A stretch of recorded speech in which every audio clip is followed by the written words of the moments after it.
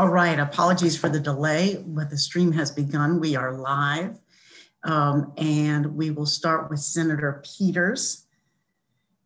Please go ahead and present your bill today. Thank you, Mr. Vice Chair, members of the committee. Um, I am not superstitious, but my bill is Senate Bill 666. So I'm a, I'm a little nervous about this bill, but I've never had this before, but I'm hoping that we can get over that. Um, this is a bill you heard last year that you passed last year and that did not get any movement on the other side.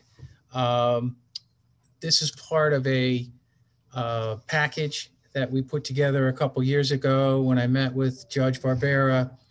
Uh, we have since been able to put uh, money in the capital budget for the new, hopefully, Maryland Supreme Court. Um, we've got the planning money in, and we've also got, uh, we're going to move up the design money this year after a big fight to really give what I consider to be our highest court the honor it's due. Uh, we walked through the building, it was leaky, there were all kinds of problems with it. And so this was a package that we came up with. And I thank you guys for putting it through last year.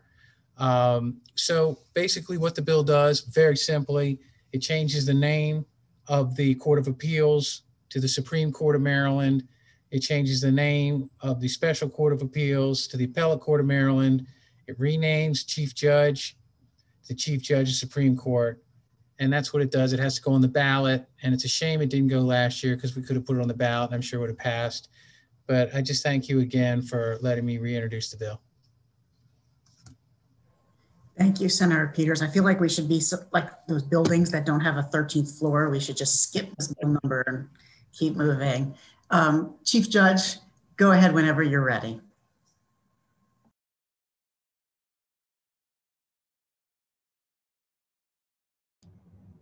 All right. Oh, uh, good afternoon, uh, Chair Waldstreicher and distinguished members of the committee. Thank you for the opportunity to testify on Senate Bill uh, 666 or 666 to avoid. Uh, I too watched the movie The Omen many, many years ago. Uh, I am he- uh, Chief Judge of the Court of Appeals, and with me this afternoon is Chief Judge Matthew Fader of the Court of Special Appeals. We are, as uh, Senator Peters uh, mentioned, we're here to testify in support of the name changes proposed by this bill. The history of the appellate courts of Maryland, as you know, uh, members of the committee, goes back to long, long before the Revolutionary War. We, we charted back to the mid 17th century. It is a history deserving respect, preservation, and celebration.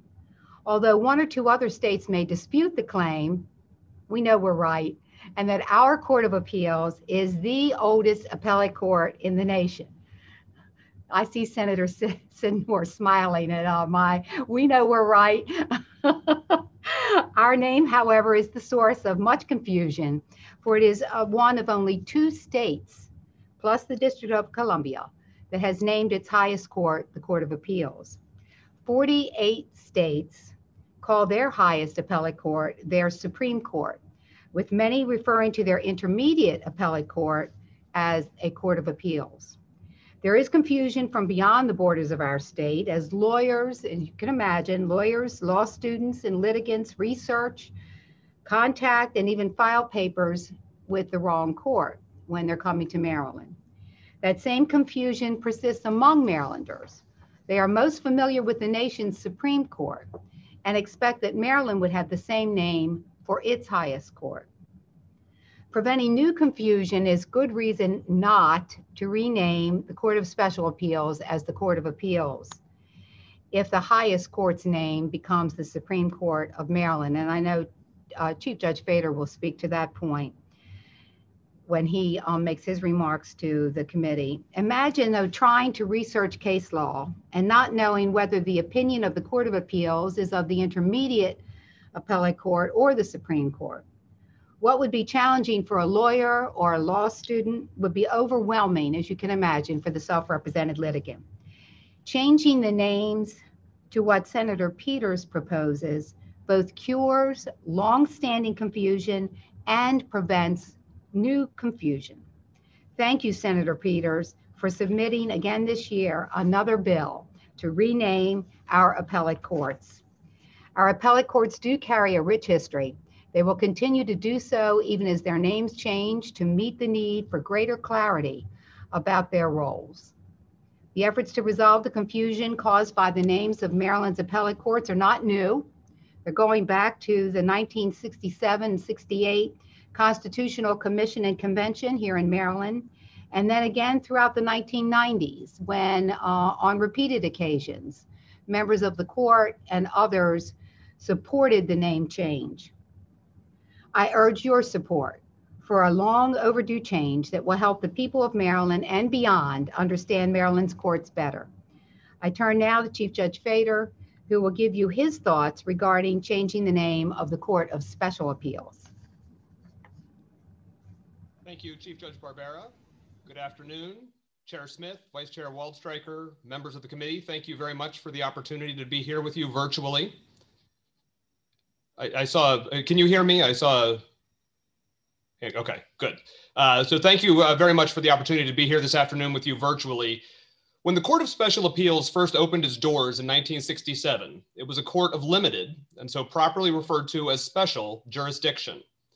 As originally authorized by the General Assembly, my court's jurisdiction was limited only to hearing criminal appeals. At that time, the Court of Appeals was the court of general appellate jurisdiction for all other cases emerging from Maryland's circuit and orphans courts. Relatively quickly, the General Assembly saw fit to expand the jurisdiction of the Court of Special Appeals, first to torts, then to domestic relations, then to workers' compensation, and ultimately, by about 1972, to almost every type of case that first makes its way through Maryland's circuit and orphans courts. Today, we stand as an inaptly named court. Although we like to consider ourselves a special court, identifying the types of appeals we handle as special is now a misnomer. In truth, we are now a court of general appeals, and I might add, happily and proudly so. Unfortunately, the misnomer does at times sow confusion among members of the public, as Chief Judge Barbera referenced. I would venture to say that the average Marylander, given the names of our two courts and asked which is higher, would be more likely to identify mine. Most lawyers in the state do not suffer from that confusion, of course, but non lawyers in the state, including self represented litigants, and lawyers and judges outside of the state do. I know that for a fact. The name change presented by this bill would help to eliminate that confusion. For that reason, I also urge your support for the bill renaming the Court of Special Appeals. Thank you.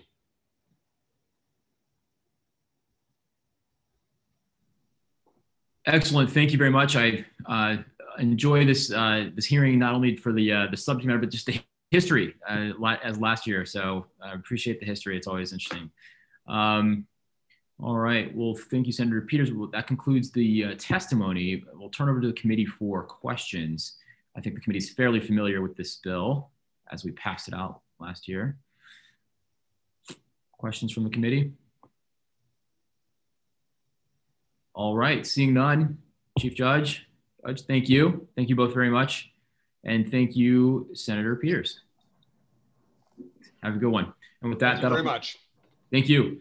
Uh, so that that will uh, conclude the hearing for Senate Bill 666. Um, we'll now move on to Senate Bill uh, 670 and 669 uh, with Vice Chair Waldstreicher.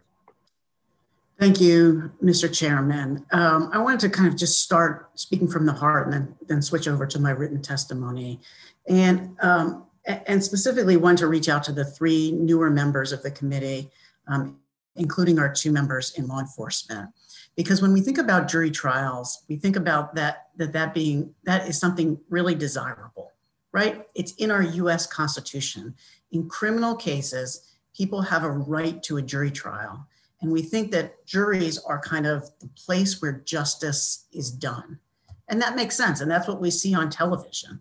And most people who request a jury trial who are criminal defendants, uh, I mean, most people who are criminal defendants that request um, a trial request a, a jury um, to make that final decision on their fate. Um, and that's why this bill is a little counterintuitive because in civil cases, juries are, or the request for a jury is oftentimes an obstacle to justice. And here's why that is. In our lower level trial court, district court, uh, there are no juries. There are juries in our circuit court. And so when someone has a relatively um, low level case without a lot of dollars at stake, they prefer going to the district court where things move more quickly and efficiently because what they want to do is quickly get in front of a judge and tell their story and receive the compensation that they deserve as victims. If they have to go to the circuit court and have a jury trial, that means hiring experts and bringing in all this stuff. And because the circuit court has to impanel juries, it takes a lot longer. And so I know this sounds counterintuitive, especially to our members who are used to this from a law enforcement point of view. But jury trials don't provide the quick and efficient justice that we want for tort victims in the state. And you know that's the case because, well, insurance companies are the ones requesting a jury trial, which seems weird because um, when you're going in front of the public, a lot of members of the public don't exactly love insurance companies. And so, why would the insurance companies be the ones that want the jury trial? when folks generally dislike insurance companies, it's not because they're going to get a more favorable outcome from a jury. It's because they know that requesting the jury will delay the case, providing them leverage for the plaintiff, the victim, to settle earlier and below the compensation that they deserve. And so that's why this feels a little backwards, but I wanted to kind of clarify that up front. Jury trials for small tort claims are antithetical to the interest of justice. So, with that, let me kind of um, put it um, uh, more technically in my formal testimony. So, SB 699 and SB 670 are, um, are bills that work together. One's a constitutional amendment, and one is the law implementing it that alters the amount in controversy from $15,000 to $30,000 so these two bills are in because, like I said, one is a, is a constitutional amendment, one is the statutory change to implement it. They've been brought before the committee in previous years, including last year when the bill had bipartisan co-sponsorship. So as I mentioned, Maryland's district court has exclusive jurisdiction in claims for $5,000 or less and concurrent jurisdiction with the circuit courts in claims for the amount above $5,000, but less than $30,000. District courts do not conduct jury trials. Raising the threshold is a practice that the legislature has undergone every dozen years or so. The Maryland Constitution that we work off of, drafted in 1850, established an amount in controversy of $5. beginning in 1970, the amount in controversy requirement has increased to $500 in 1970, $5,000 in 1982, $10,000 in 1998, and $15,000 in 2010. In other words, it's been more than a decade since the legislature last addressed this threshold. Now, even if we set aside the fact that this threshold has not been addressed in quite a long time, there are several other standalone reasons in which passage of this amendment would be good for the state and for victims who are our constituents. This bill would bring about more efficient justice, more equitable recovery for claimants receiving awards, and ease the court's return to normalcy following the COVID 19 era. So we'll have some proponents, they'll go into more detail. However, by, by increasing the jury demand to $30,000, all civil cases filed in district court will stay in district court. District court is already equipped to handle civil cases up to $30,000 and has ample methods of retaining expert witness testimony and doesn't require jury selection, as I mentioned. Civil cases filed in district court for amounts between 15,000 and 30,000 currently risk having a defendant, meaning an insurance company in most cases, demand a jury trial, which places the claim within the circuit court's jurisdiction. What this does is essentially restart the clock for victims and prolongs the circuit court proceedings, which makes it more expensive, requires jury selection, and means longer wait times for trial and for justice. Civil claims filed in district court for amounts between 15,000 and 30,000 are subject to jury demand and relocation to circuit court. Victims pursuing civil remedies are often faced with an impossible choice, accepting less recovery for fear of having the case relocated to circuit court so increasing the jury demand threshold will allow claimants to keep their claims in district court and seek recovery for amounts between $15,000 and $30,000. Finally, this bill will go far in alleviating the work of the circuit court and its COVID-19 backlog of jury cases.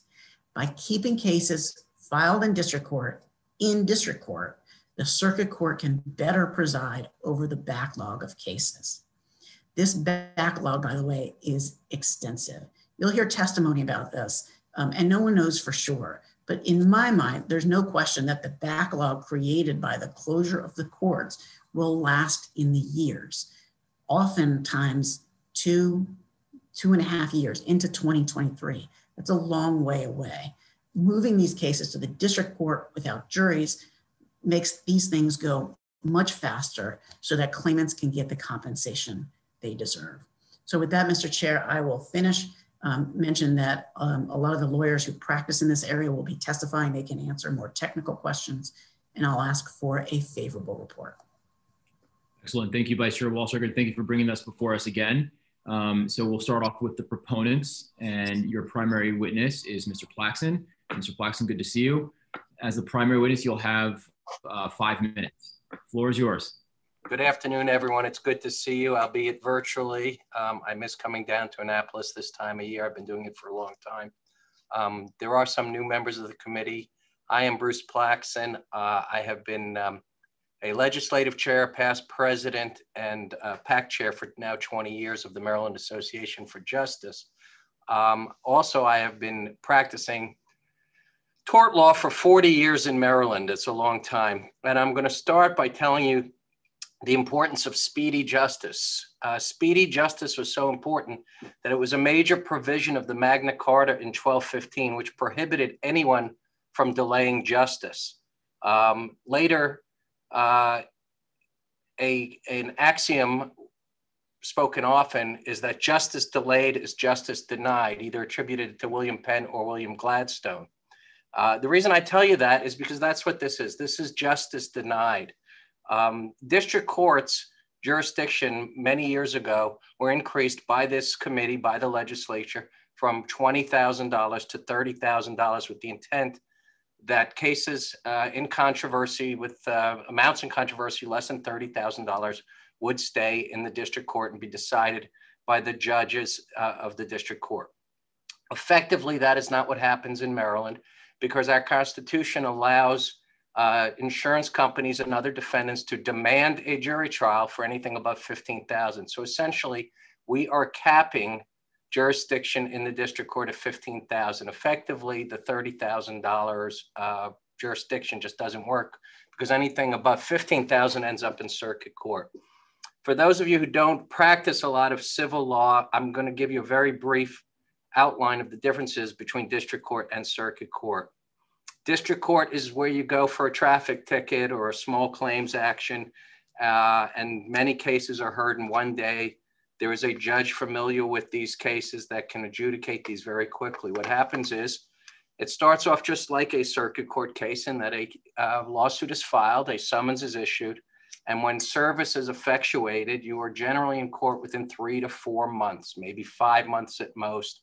Um, you answer written interrogatories under oath, telling about your case, your past damages, giving your doctors, you exchange your exhibits, and you go in front of a judge that adjudicates this case, hears from the client, hears from the defendant, hears from any witnesses that he decide wants to bring, and the case is over in about one hour.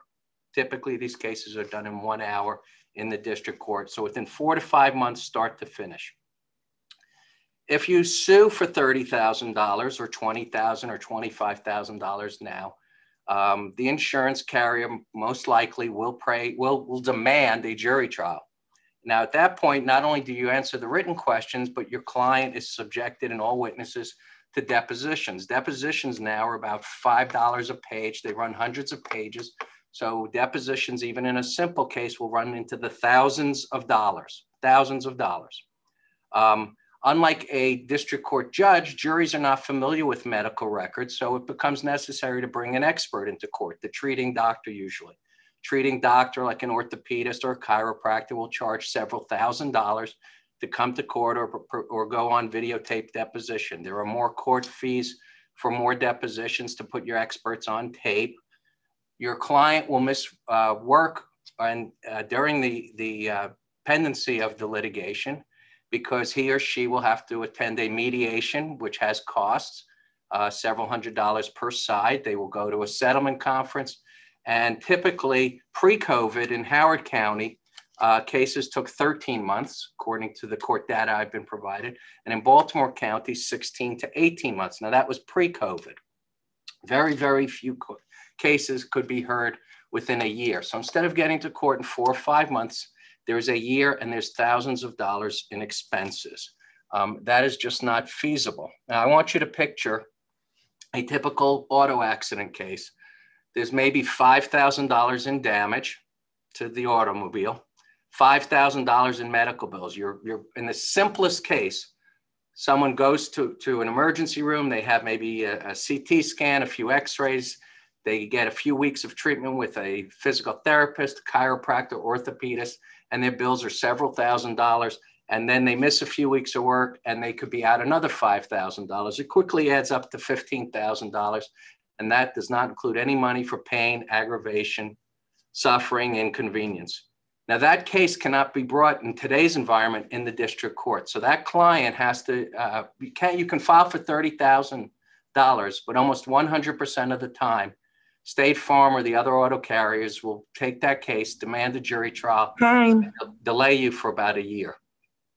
Um, during that year, your client's car or your, your constituent's car remains unfixed uh, or undrivable.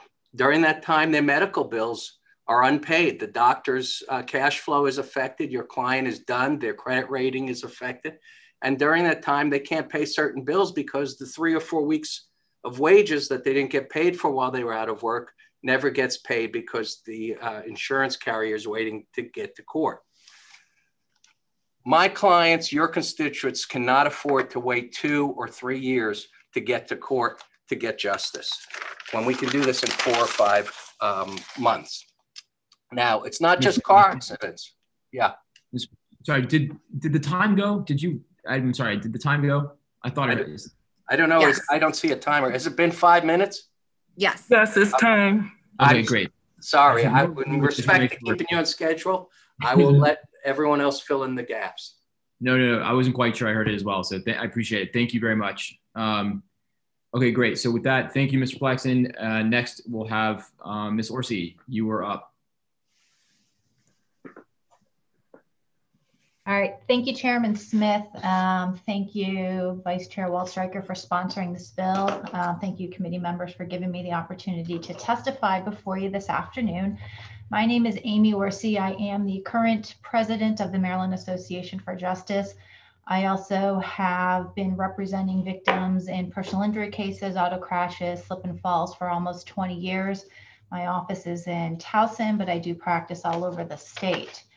Um, testifying in support of this bill uh, by allowing an amendment to increase the jury demand to $30,000. A large number of our cases um, could be resolved more quickly and more efficiently.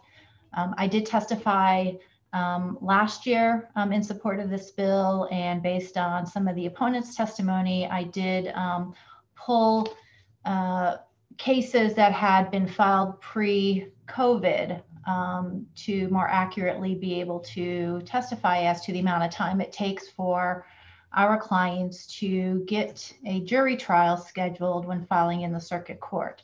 On average, um, cases throughout the state take approximately 13 to 15 months for a trial date to be issued after the filing of the complaint. Uh, with the courts being closed and jury trials being suspended for over a year, it's taking even longer for our clients to get trial dates. Two to three day jury trials are already being scheduled well into 2022 and even into 2023. Uh, the backlog of trial dates created by this pandemic is tremendous, and it's going to take years for the courts to get out of this backlog. And even when the jury trials resume, it will be far from business as usual.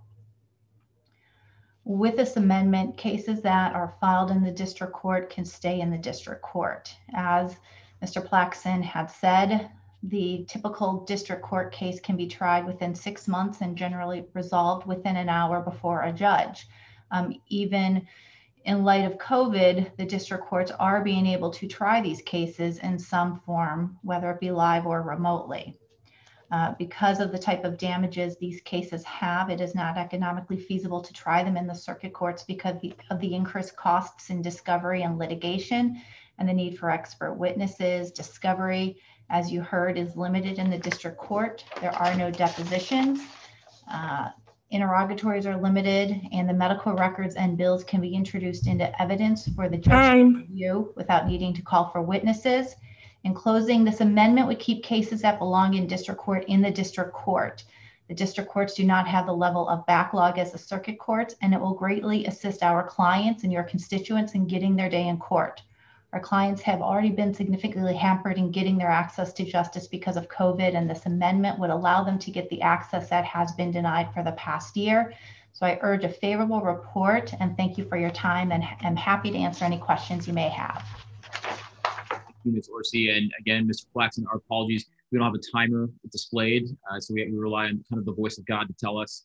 Uh, so I appreciate that. And uh, Mr. Flaxman, always appreciate the Magna Carta going back all the way to 1225 and King John. So it's, it's solid. That's solid work. All right. Um, so we'll now move on to um, Mr. Muncy. You are up next. Thank you, Mr. Chairman. Thank you, members of the committee, for having us today. Um, I want to focus on some of the comments that were made at the hearing last year when it was said that trials usually happen within nine months and that a lot of the carriers often do not demand a jury trial in these cases. And I want to rebut those, you know, preemptively because in our experience with our members, my own practice, I've been doing this for eight years. I'm partners with Bruce. Uh, we exclusively handle personal injury cases. You can pretty much count on the majority of the insurance carriers demanding a jury trial if you file for more than 15,000 in the district court. Uh, Mr. Peterson is on the call today. He is the House Counsel head for State Farm. State Farm universally uh, demands jury trials if you file for more than 15,000 in this in the district court when we talk to our clients about their choices, we really tell them, you know, this case may be worth 20, 25, that, that's the value that we think it's worth. But there's a good chance if we file for more than 15,000 in the district court, they'll demand a jury trial and you'll be waiting a year, a year and a half, and the expenses will run several thousand dollars. So the money that you can get in the in the circuit court is actually going to um, be less than what you would get filing for 15 in the district court. And that's denying our clients the justice they deserve in these cases. Um, it's denying them the, the, speedy access. It's denying them the value that their case is entitled to. And we have a system set up in the district court to expediently uh, resolve these cases without the need for experts, without the need for people to miss work to come and serve on a jury. And this was an important issue pre-COVID, but after COVID, after jury trials have been shut down for the better part of a year and ongoing, it's extremely important that the smaller cases do not take up the valuable time of the circuit courts, do not take up the valuable time of our jurors and let the cases that have more serious issues, including criminal cases, more um, significant civil cases, those are the cases that need the resources of our jury system, not the smaller cases that can be resolved in a district court in four, four to six months with minimal costs and get people the justice they deserve. Thank you.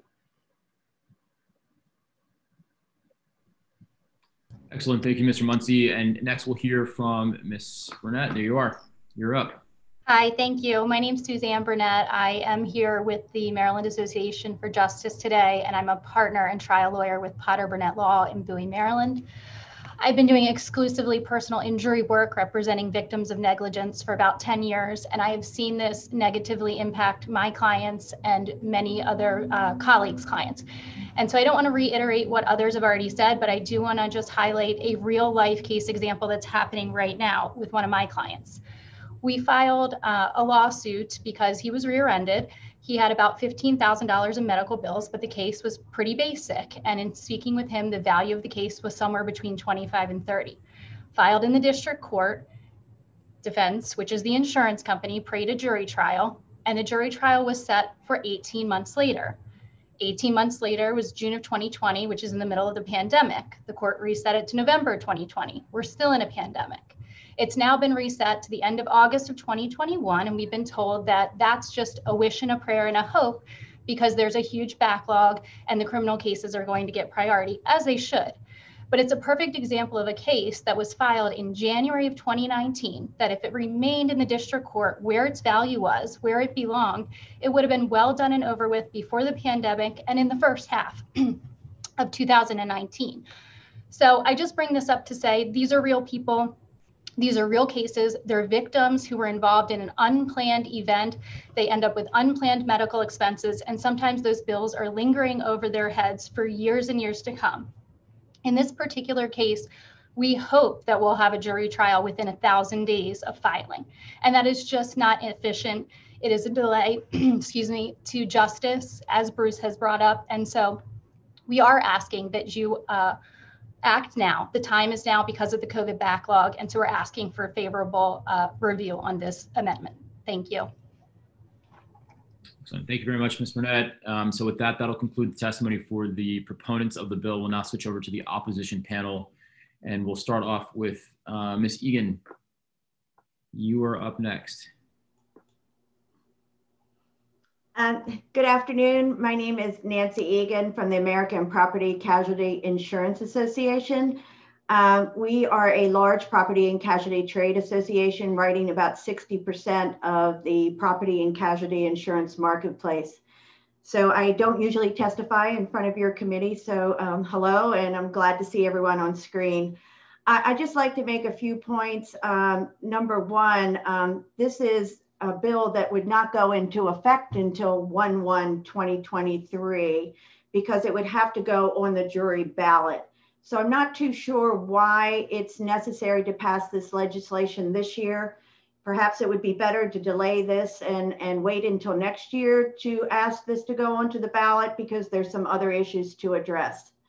In addition, um, while I appreciate some of the comments, um, I do hope that uh, people do not look as insurance companies as obstacles to justice.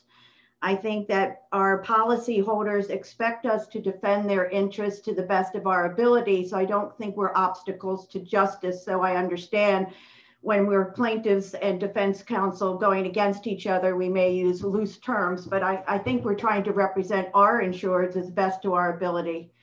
In addition, by raising this limits up to 30,000, we're already the highest in the country for jury trial uh, thresholds. This would make us even more higher, um, I guess higher, excuse me. Um, just recently, uh, uh, if you'll look at Louisiana and my testimony, they were at 50,000 and had the highest insurance rates in the country for auto. And a part of their tort reform to bring down those costs, they decided and passed law and that went into effect in July of 2020 to lower their jury threshold limits down to 10,000 to provide a better forum for people with auto claims to defend their cases. So with that, um, thank you very much for permitting me to testify. Thank you. Excellent. Thank you very much, Ms. Egan. Uh, we'll now move on to Mr. Kirkner. Thank you, Mr. Chairman, uh, members of the committee. Andrew Kirkner on behalf of the National Association of Mutual Insurance Companies. Uh, NAMIC is comprised of more than 1,400 member companies across the country. Uh, we are very proud uh, to have 11 of those member companies domiciled in the state of Maryland. Um, I think oftentimes folks look at insurance companies as these huge uh, behemoth companies that they may see on the Super Bowl. But what I'd like to keep, uh, like for the committee to keep in mind uh, as we discuss this important bill is that they do range from the large insurers all the way down to those Maryland domestic companies, the smaller companies.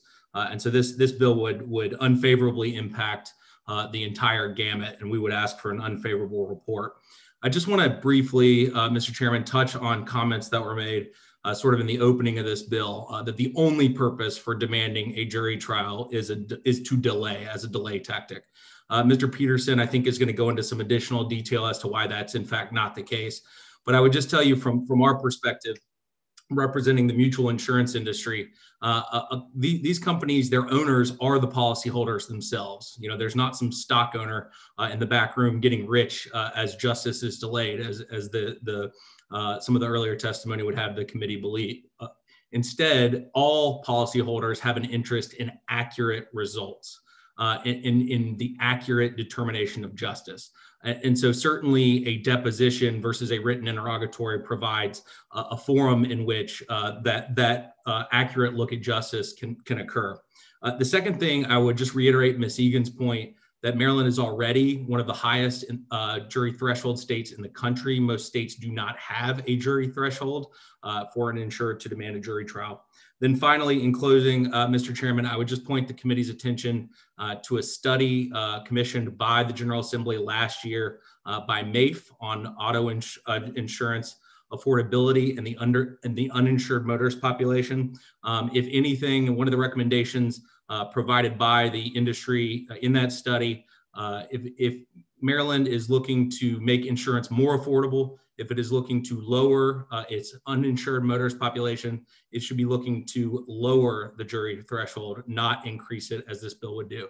Uh, so uh, for the reasons stated, we, uh, we request an unfavorable report. Thank you very much, Mr. Kirkner. We'll now have um, Mr. Peterson. You're up. Thank you, Chairman Smith, uh, Vice Chair Waldstreicher, members of the committee. Um, I'm Barrett Peterson. I've managed State Farm Staff Counsel Office since 1991 and been in practice longer than that. Uh, there are two reasons that uh, the the uh, the Maryland Association of Justice like this bill. They told you about one, and I'll address that one second. But the real reason is this: they get more money in low value cases from district court judges than they'll ever get from a jury. Let me give you an example: an accident, very little damage to either car. The plaintiff calls their lawyer before they go see a doctor. The lawyer sends them to a doctor that gets 100% of their practice from plaintiff lawyer referrals, and they run up a bunch of bills. And district court judges have, many of them have no trouble with that and award hefty awards where our client may look to us afterwards and say, can I appeal this? And the answer is no. If the judge found as a fact this person was injured, then you can't appeal it and the verdict stands. Whereas if a jury were to hear the same case, most of the time they would say, this person wasn't hurt. We're not awarding them anything. And while I can't tell you how much the overall effect of higher verdicts will have on insurance rates, common sense and Louisiana's experience tells us that higher verdicts do have an impact on your constituents' insurance rates. And we are, as has been said, the highest jury trial threshold in the country already. Louisiana's experience uh, had them roll theirs back. This would make us an even further outlier the, the expense part, the, the bringing in experts part is a fallacy. If they leave that complaint in circuit court for $30,000, they do not have to bring in an expert to, uh, to prove their medical bills. And every one of the practitioners before you knows that. Um, I, there has been a significant delay with the pandemic. No one would deny that. Um, and that was true last year and this year and probably into next year. But this bill won't take effect at the earliest until January of 23. And we don't know what that will do. So they're, they're asking for this to remedy a temporary problem, and it won't even remedy that.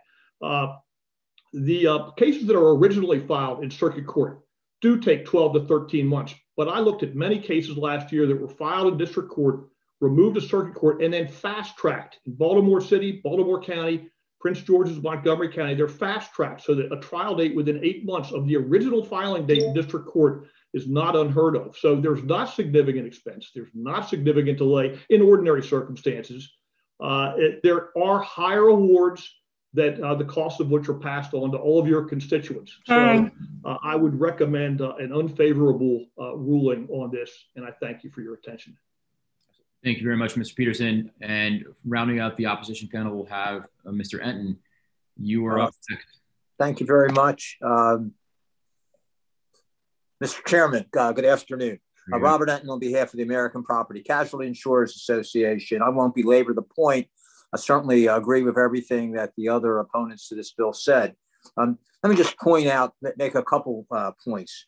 Um, the, I think one of the most dramatic uh, things that occurs uh, from in the difference between district court and circuit court is pretty much the complete and total lack of discovery. You get to ask 15 interrogatory questions, written questions, and that's it. So um, if you are the defendant and you're the one who is um, uh, uh, at risk in this case, the insurance company is not the defendant. The defendant is whoever is getting sued. And the district court process is extremely limited.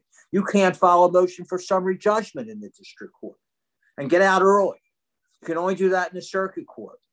And why is it that the plaintiff, the plaintiff, uh, can have the right to play to pray a jury trial, but not the defendant?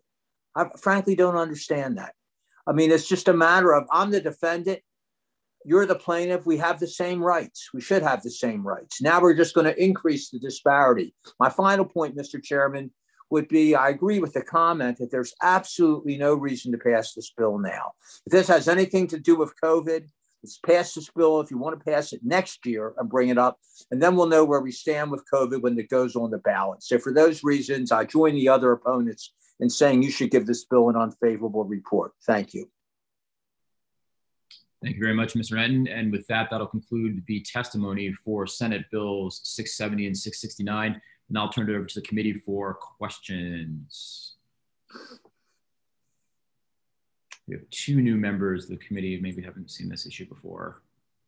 All right, seeing none. Thank you all very much. Thank you, Vice Chair And that'll conclude the hearing for Senate Bill 670 and 669. I see that Senator Eckardt is here. And so she is up next. We'll have Senator Eckardt with Senate Bill 698. Senator Eckardt, you're up. Thank, thank you very much, Mr. Chair and uh, Mr. Vice Chair and members of JPR Committee. I'm Senator Addie Eckardt for the record here today on Senate Bill 698, which is Real Property Transfer on Death Deed Task Force. Sounds ominous, doesn't it? Um, this bill is brought to me uh, by our Midshore Pro Bono, Pro Bono group. As you know, COVID has exacerbated a multitude of dilemmas that we have in our communities and really, uh, really highlighted many of our low income Marylanders in particular those families face a lot of barriers when they're trying to transfer property to the next generation, uh, including the liens. These challenges create unreasonable economic burdens for families and can many times displace families and ultimately leading to homelessness. Senate Bill 698 was worked on um, by a number of groups to establish a task force that would study the use of what's called a transfer on deed in the state, which would allow real property to transfer to a beneficiary automatically upon death. Um, in consultation with relevant experts, this task force would study other jurisdictions that have implemented the use of such a transfer on death deed and report its findings by December 1st of 2022.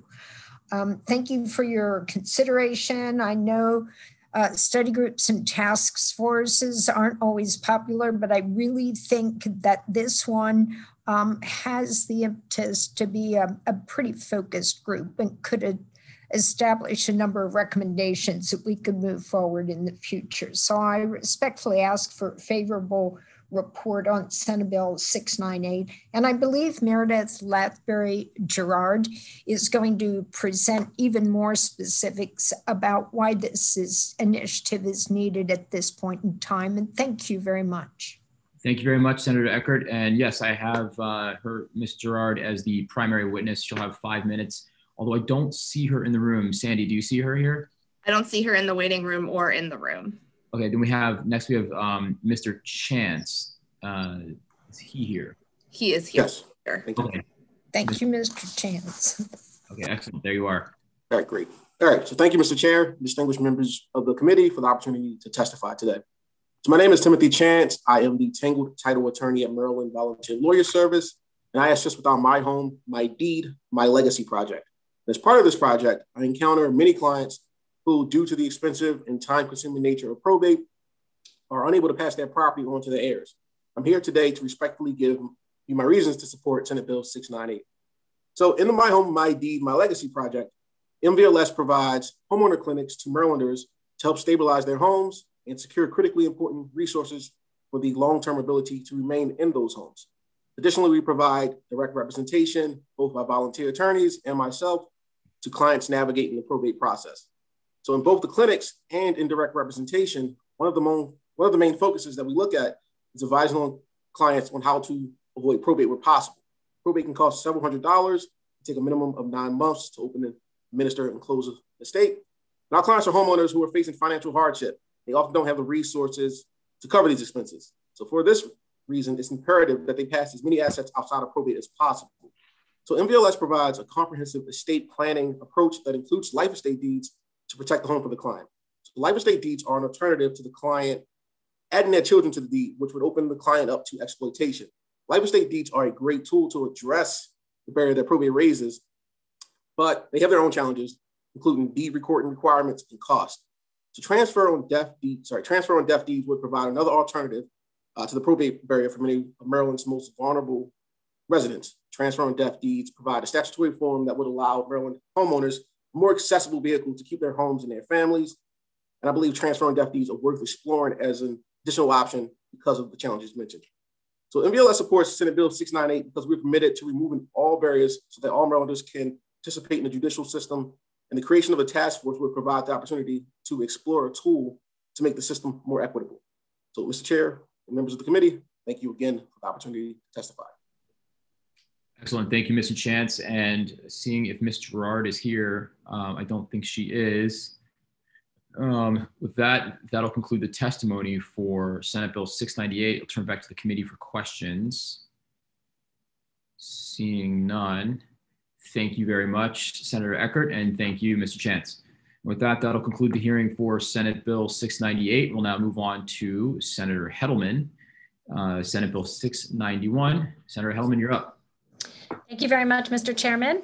Uh, members of the committee, I am here happily presenting Senate Bill 691, which is actually an innovative idea. And I can't say that I claim it for myself, but I did read about it. And um, turns out a colleague uh, across the way on the House side had also been looking into this issue. And so we're really happy today to present to you the idea of a reusable tenant screening report.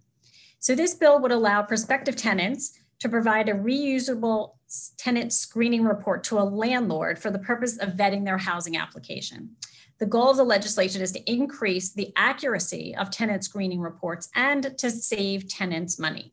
And I would draw a comparison to the Common App that many of us and many, many of our kids perhaps used when applying for college. It's using a document that gathers the same data and information, but doesn't burden the applicant with redundant filings and fees. So under this bill, landlords would have the option, they would not be mandated at all, but they would have the option to accept a tenant screening report. They would also, they would have to publicly state on their website if they accept a reusable tenant screening report.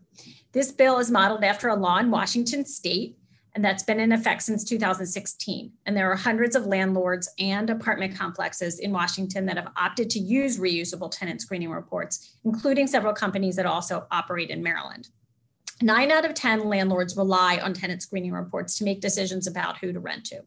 And these reports typically contain information about an applicant's personal and financial characteristics, including their credit history, arrests and criminal convictions, evictions, and employment.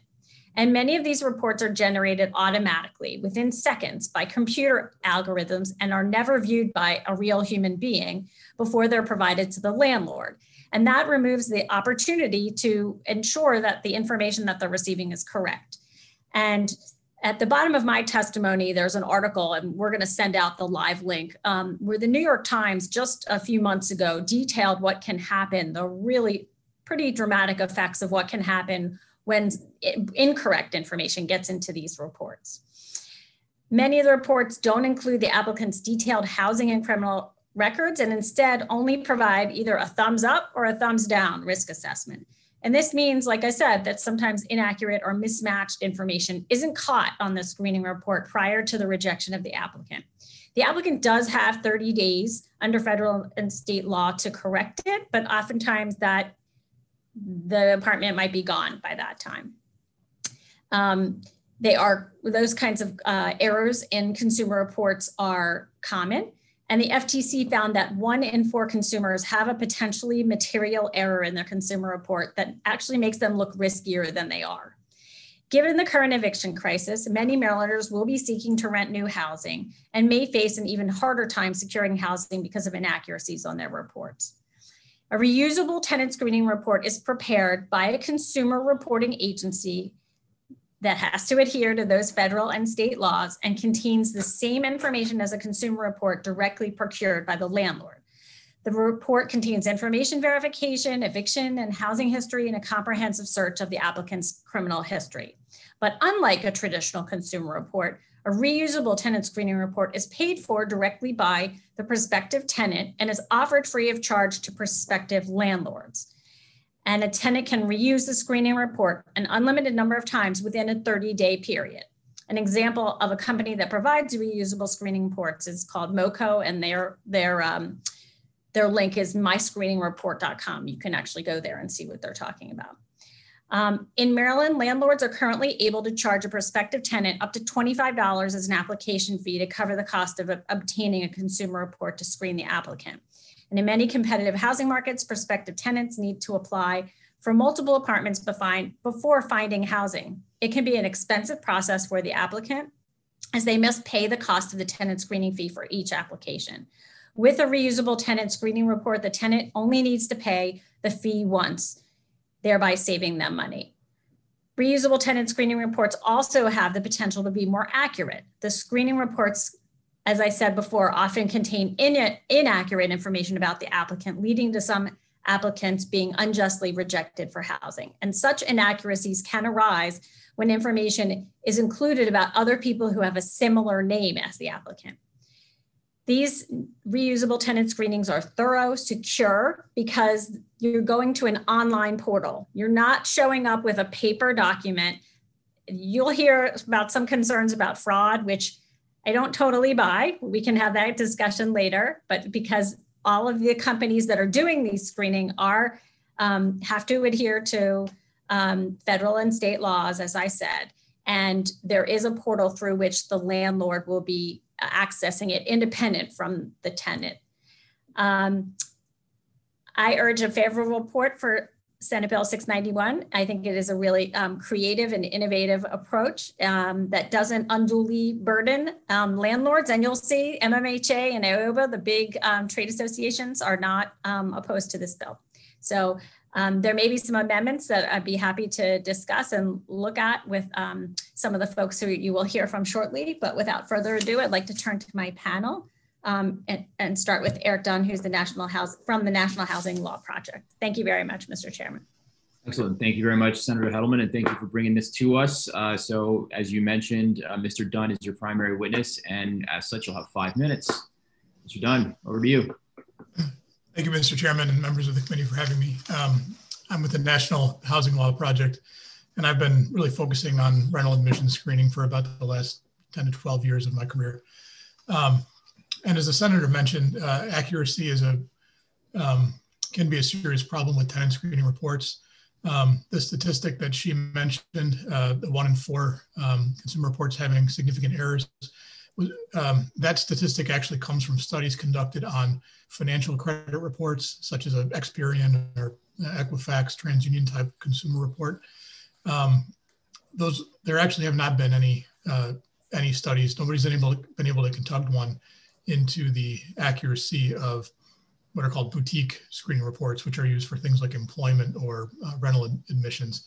In my experience, um, those reports um, the error rate is significantly higher uh, than what you would see in a uh, more of a financial type consumer report because nobody's actually been able to conduct a study into those. Um, typically, the industry will cite their dispute statistics, which make the error rate appear vanishingly small just because of how difficult it can be uh, for a consumer to obtain a copy of their report and then lodge a dispute and, and have that corrected, as well as the incentives that weigh against that. Um, but beyond the problem of accuracy, um, a lot of people actually do have eviction records, criminal history. They may owe um, claims to former landlords. And these are very serious barriers to qualifying for rental housing. Um, if someone owes money to a past landlord, or even if a past landlord claims they owe money, whether they owe it or not, or if they've even been sued for eviction, even if the case was dismissed or resolved in, their favor, um, those, those can often be fatal to a rental application, even if there's nothing else on the application negative about the applicant whatsoever. So even if the information is accurate and correct, um, for a lot of tenants, um, those types of reports still stand as a, as a huge barrier to obtaining housing. Um, and then because most landlords will charge a non-refundable fee um, just to apply for the housing, it creates a dynamic where people that have any of these barriers wind up having to steer themselves toward, excuse me, sorry about that, uh, steer themselves toward rental housing um, that may not be uh, housing of their choice, that may not be functional housing for them. It may be sometimes substandard housing, um, housing that's that's um, not in, in, good areas for uh, for their family to live. Um, and when you're talking about that sort of dynamic playing out with one renter or one household, that's one thing. But um, when this happens on a collective level, um, when thousands and thousands of, of renters that have eviction records, that have other types of negative um, information on their reports, um, are are in this process where either they can they can continue paying these $25 fees, have forfeited the money, um, having to pay again to apply somewhere else, or else they can um, settle for you know lower quality housing um, where they think the landlord can't be as selective. Um, it, really, it can really sort of drive patterns of cyclical concentration of poverty and really um, residential segregation because when you look at who has eviction records, who has criminal records, consistently the studies will show that black women, especially mothers, face eviction at substantially higher rates than any other demographic. Similarly, that people of color face um, involvement in the criminal history, excuse me, involvement in the criminal justice system at substantially higher rates, e even though they don't commit crimes at higher rates, but they face arrest, conviction, uh, and other um, involvement in criminal justice uh, programs um, at higher rates. And so they're more likely to have criminal records, they're more likely to have eviction records, they're more likely to be steered by application fees into areas of concentrated poverty. And so rental application fees, even apart from accuracy, is enough of a reason to take on um, that problem. And portable screening reports is a, is a good solution to this um, because it, it enables somebody to pay one fee to get a report that they can use over and over again to apply at housing until they qualify, rather than having to pay a new fee each, each place they apply. Um, and what should really be done would be to prohibit landlords altogether from charging fees for people that have portable screening reports available. This bill doesn't go that far, uh, but what, what it does do is it at least requires landlords to say whether they take portable screening reports. And so that way, if somebody buys one of these, they, they know that there are places where they can take it and, and use it. Um, so it's a good step in the right direction. Thank you. Excellent. Thank you very much, Mr. Dunn. And next, we'll move on. Just go in order of sign up. So, Mr. Losak, you're next. Mr. Losak, my apologies for last night. I'm sorry I got tied up. Uh, we've got a deadline here, and we must meet it. So I had to grind it out last night. So my apologies. No apologies necessary, Mr. Chair, and good to see you. Uh, Senator Hettleman represented you very well, as did Senator Lee. Uh, good afternoon. Uh, my name is Matt Losak. I am co-founder and executive director of the Montgomery County Renters Alliance, an alliance of more than 30 labor, community, religious, political, civic action organizations, and thousands of renters. We are Maryland's first and only regional nonprofit dedicated exclusively to renter outreach, education, organizing, and advocacy. And we are a proud co-founder of Renters United Maryland. I want to thank Senator Hettleman for your leadership on this issue and Delegate Palakovich Carr uh, on the other side. Uh, for many years, for, for many renters, especially low income renters, especially renters of color, it can be especially difficult to find an apartment in Maryland. For many renters, it may be necessary to apply for multiple for homes uh, in multiple apartment communities in order to find an available home. But this means having to pay multiple background fees that may make the process too, too expensive for many and potentially adding to racial segregation in housing. Creating a system where landlords can simply access a credit report from a reputable credit screening company using the landlord's own password or code would ensure one-stop shopping accuracy of tenant screening reports and eliminate multiple tenant fees. Further, it would allow for all renters to review their own report information to ensure accuracy while not being able to change that information that will be secure within the uh, agency that holds that report. The bill provides a simple, modern improvement to the rental application process, uh, and we strongly urge a favorable report to Senate Bill 691. Thank you. Excellent. Thank you very much, Mr. Losak. All right, next we'll move on to Miss White. Marceline, good to see you. Good to see you. Um, Senator, Chair, uh, members of the committee, my name is Marceline White, Executive Director of the Maryland Consumer Rights Coalition. And I appreciate the opportunity to come here and speak on behalf of Senate Bill 691. I will not repeat what my colleagues have said, but I do want to focus on why I think this is an important bill to meet this moment. Um, and I think it's a creative bill. As has been noted, there are issues with adverse credit reports.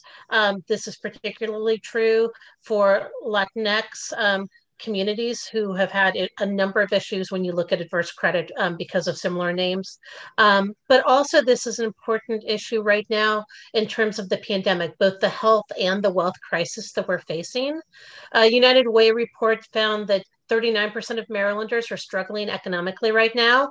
And as this committee is well aware with all the good work you've done, we certainly have a crisis um, for tenants. Um, my own organization, which um, runs the Fair Housing Action Center and a tenant rights program, now has 250 clients, which is the amount we served in 2019, and that's since January 2021.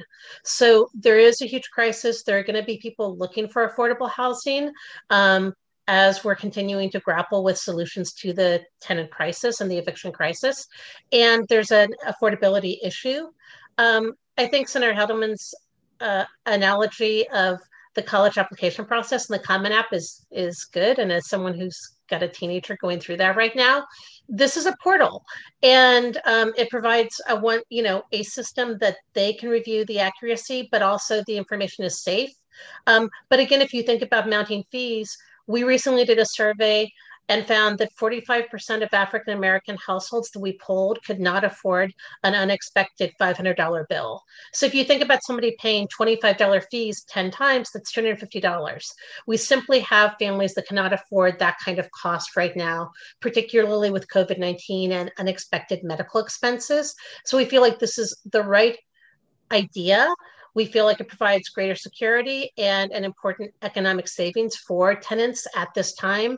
And I have talked to colleagues in Washington state who have used this, who work on uh, fair housing issues and tenant rights issues, and they found it to be very effective there. So I think there's also a proof of concept that's already um, been proven. So for those reasons, we really support Senate Bill 691 and urge a favorable report, and I'm happy to answer questions. Excellent. Thank you, Ms. White. And now we'll go over to Ms. Hatfield. You're up. Thank you very much, Mr. Chair, members of the committee. Good afternoon. My name is Carissa Hatfield. I am a staff attorney with the Homeless Persons Representation Project, speaking on behalf of Renters United Maryland today and honored to do so, um, which is a statewide coalition of organizations that support renters' rights. Um, we are strongly in support of Senate Bill 691. Uh, a lot of the information and reasons why Renters United Maryland supports 691 have been covered by my colleagues, and I don't want to spend a lot of time belaboring those points. Um, I do want to say, as part of my experience as an attorney representing tenants in Baltimore City, um, particularly tenants who are subsidized, um, application fees can be an insurmountable obstacle to obtaining safe and sustainable housing. Um, I have a client right now that I'm working with, for example, who has simply um, given up on finding a new apartment um, because she can no longer afford to continue to pay application fees. Um, having the opportunity to use a reusable tenant screening report where a one time fee would be paid would be an option that's much more feasible for tenants like mine um, who want to move from substandard, unsafe housing um, and find new opportunities in safer and more sustainable neighborhoods um, versus paying $25 multiple times um, and facing potential rejection at those sites. It's much safer for them now to stay where they are rather than to try to continue to risk you know financial ruin in the attempts to find something safer um, for the reasons I reiterated by my colleagues and for the reasons stated by myself, um, we strongly support SB 691 and urge a favorable report. Thank you. Excellent. Thank you, Ms. Hatfield. And uh, next we'll have Mr. Ellman. Good afternoon, Mr. Chair, members of the committee. Thank you for having me. I'm Eric Ellman with the Consumer Data Industry Association, CDIA. Uh, I'm we are a trade association based in Washington, D.C. We are a trade association of consumer reporting agencies, including the tenant screening companies that we've been talking about uh, here today. We testified last week, uh, uh, obviously, on the House bill. On the House side, we are here today. Uh, and we are not here in opposition. We are uh, in a posture of favorable with amendments. We believe that there are that there is a way that we can get to agreement with the sponsor on the House side, the senator on the senator on this side, who's uh, obviously with us here today. And I feel like there is a path forward that will serve the interests of tenants, the interests of uh, landlords, and the interests of consumer reporting associations, tenant screening companies across the state. Uh, I'm happy to answer any questions that you may have. Excellent. I assume the um, I hadn't seen this your testimony, but your uh, your amendments are in our file.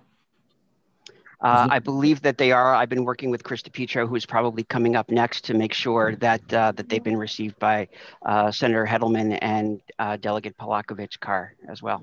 Got it. I'll look. I'll pull it up. Thank you very much. And, and this was this was supposed to come up today, I think, in House subcommittee, and and uh, at the request of the sponsor on the House side, we moved that till next week to have a continuing conversation about those amendments. Excellent. Okay, great. Thank you very much. Sure. Mr. DiPietro, you're up. Mr. Chairman, members of the committee, Chris DiPietro on behalf of the Consumer Data Industry Association. Um, I'm just just following what Eric says. We think we think this is a good idea. We understand the goals of the reusable tenant screening report. It makes sense. It will help. I think it will help a lot of individuals, but I think uh, we want to make sure it works properly. Um, so we do have a couple of concerns with the bill as drafted. We had had a conversation uh, with Delegate Palakovich Carr last week. We submitted some amendments uh, to both the delegate and the senator, um, and we, are having another meeting this afternoon. And we hope to get to a point of agreement. And um, it's not our intent to get in the way of this bill. We we we just want to make sure it is one that works and works properly uh, from a, a, a, logistical perspective, because we're the ones that actually have to uh, administer these, and we want to make sure that they're uh, they're uh, uh, free of fraud and and and um, and open to use by by the prospective, prospective landlords. So with that, we say favorable with amendment. Thank you. Excellent. Thank you, Mr. DiPietro. And yeah, I didn't. Once you guys get that sorted out over in the house, right. or we will. We'll work with absolutely. So we can uh, we can take action on thank it. Thank you. Okay. Thank you very much. Um, and with that, I think that concludes the testimony. Uh, for Senate Bill 691. I'll turn it over to the committee for questions. Quiet day on the bench. Um, all right, great. Uh, with that, that'll uh, end the hearing for Senate Bill 691. Thank you very much, Senator Hettleman. Thank you all very much. Have a good afternoon. We'll now move over to Senator Lee with Senate Bill 675. Senator Lee, you're up. Good to see you back in the saddle here. Yeah, thank you, Mr. Chair. Yeah, I'm glad I'm I'm glad I'm here too. Close call today. Um, okay, I'm glad I'm here for voting too, Mr. Chairman. Okay. Um, okay, this I have my witnesses here today, and they can probably explain even better than I can because they are the witnesses, and they are the uh, they are the experts in this area, and um, this was um, based on the product of a work group that we had. Uh, child custody involving uh, domestic violence and uh, child abuse. Um, this bill, um, as you know, 675, family law practitioners will be the first to concede that judges presiding over normal contested child custody proceedings may not be always adequately familiar with family law, especially new judges because they may come from backgrounds as uh, prosecutors and few may be able to the table with sufficient family law familiarity.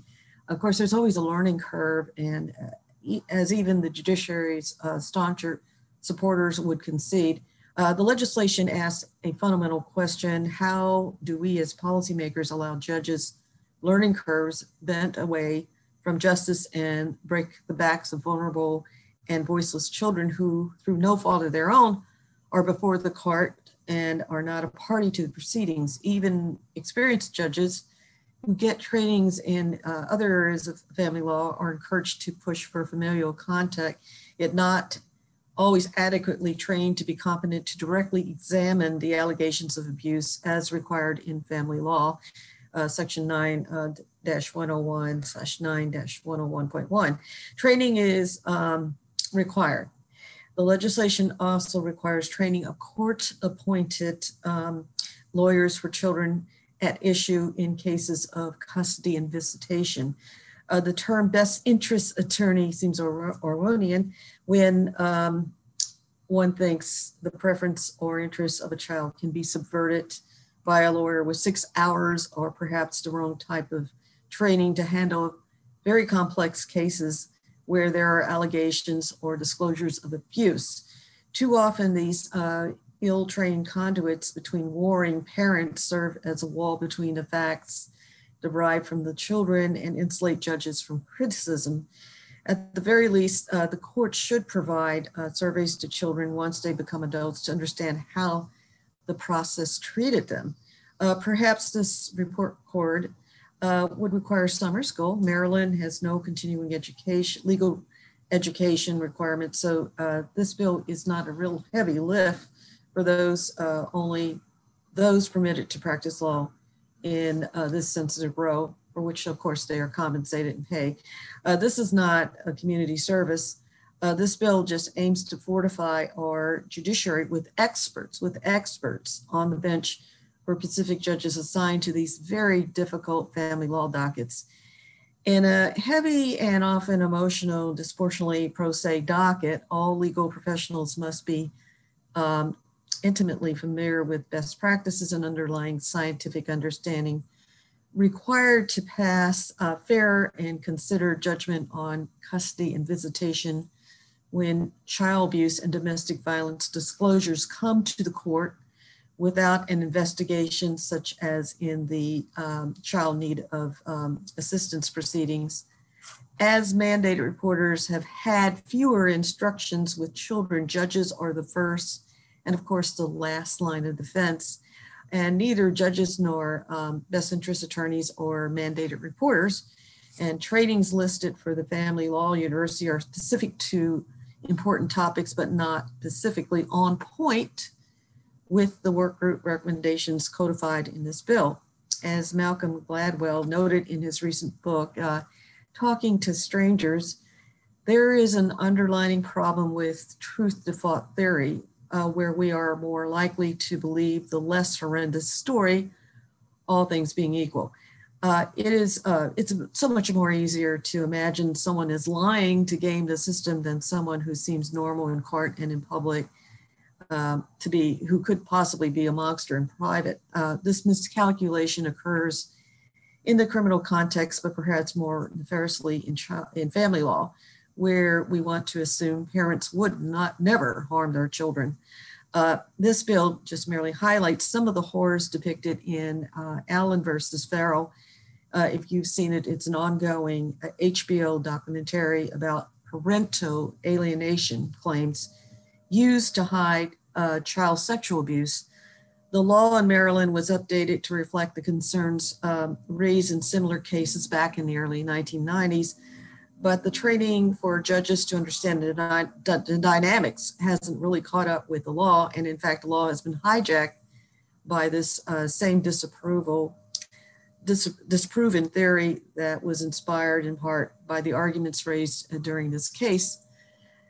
After 30 years, we are learning more about the facts behind the circumst- those circumstances, but the Maryland judiciary is not prioritizing similar concerns raised here now. Maryland is not very unique at all.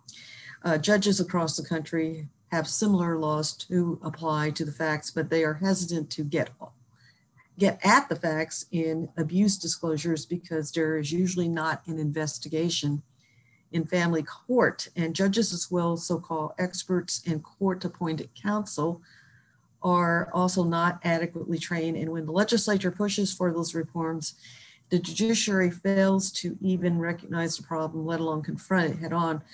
Uh, of course, we wouldn't be here um, if the judiciary was willing to fully examine the problem themselves.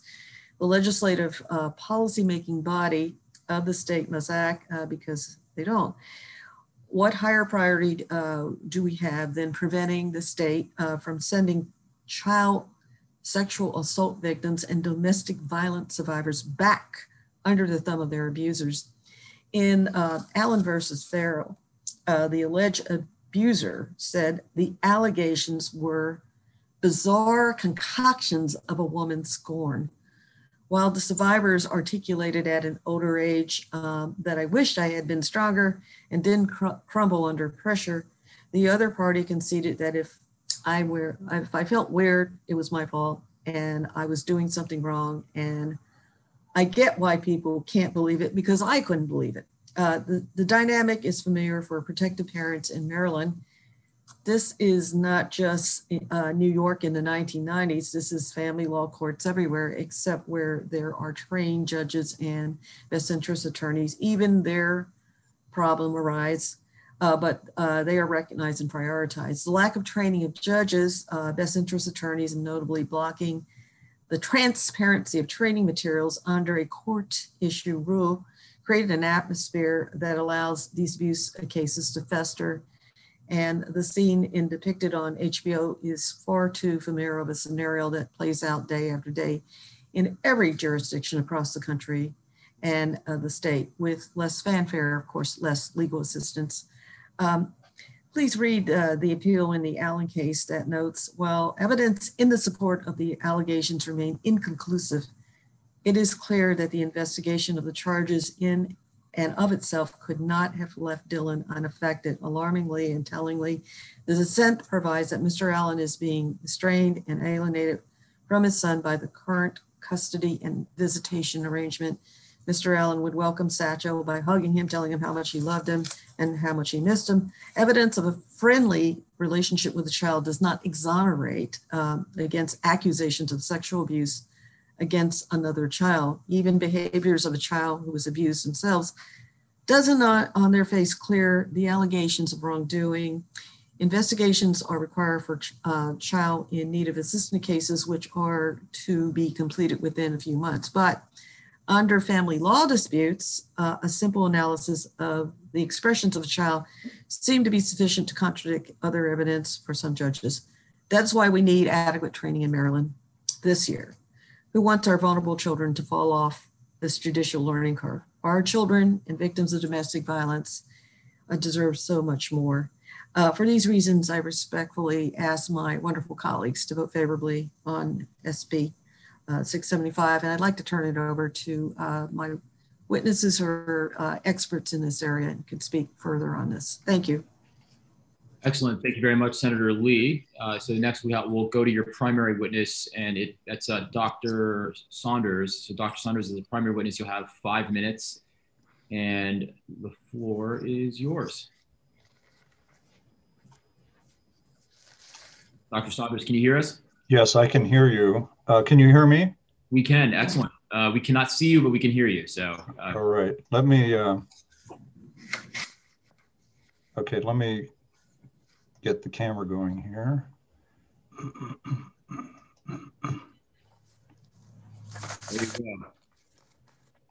Excellent. So the floor is yours. Good afternoon. Chairman Smith, Vice Chair Waldstreicher, members of the committee.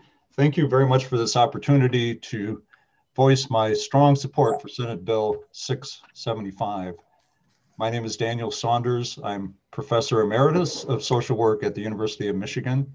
My research, teaching, and service have focused on the problems of dating and domestic violence, known as DV, over my 45 year career.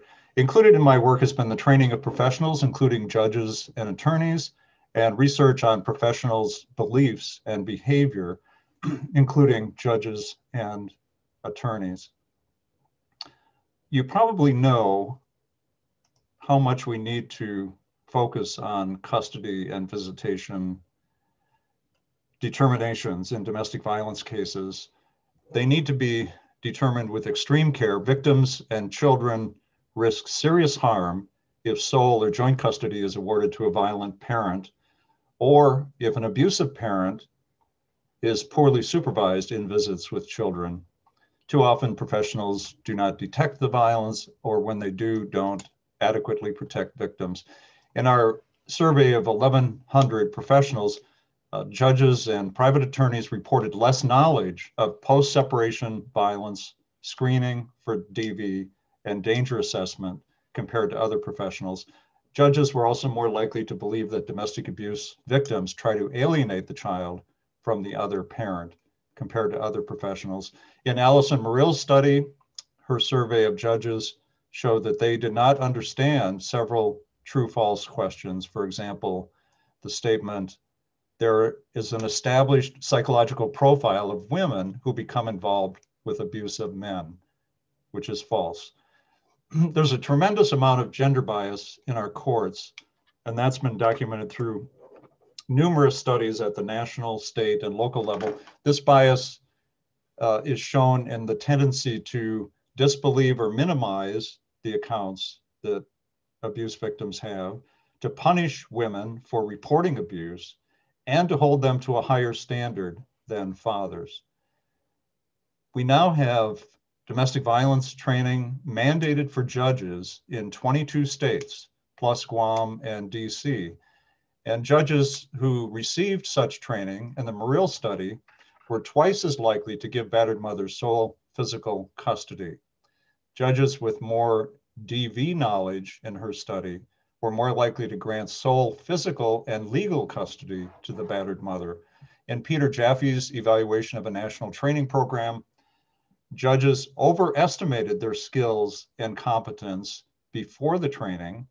And several months after the training, most of them saw that the ways that they had changed were in areas such as victim safety and batterer accountability.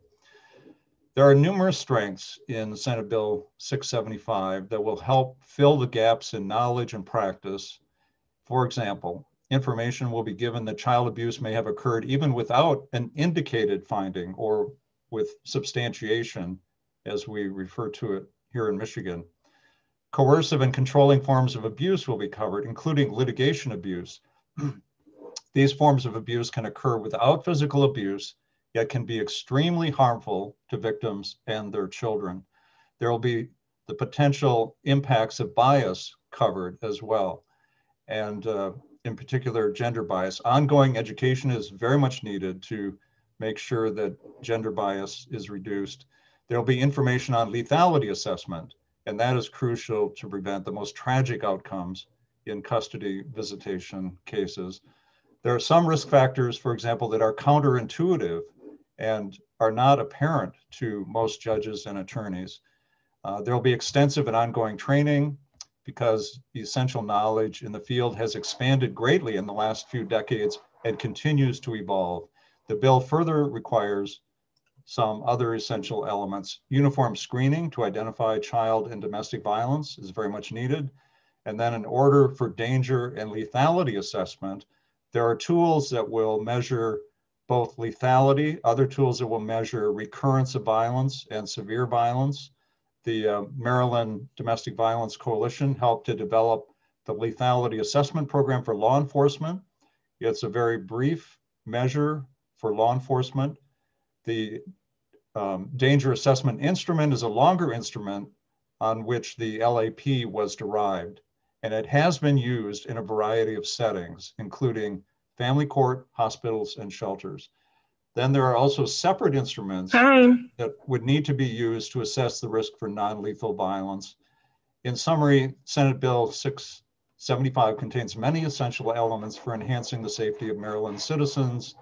Thank you for letting me give these comments, and I look forward to answering any questions you might have. Thank you.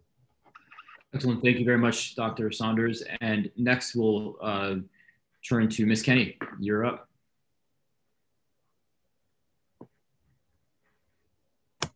Okay, can you hear me? You can, yes, good to see you again. Okay, hi. Um, so my name is Annie Kenny and I am a single mother to three daughters from St. Mary's County. And several years ago, I learned that my ex-husband was abusing one of my daughters. He was indicted on felony child sex abuse charges and he is now a tier three registered sex offender for life.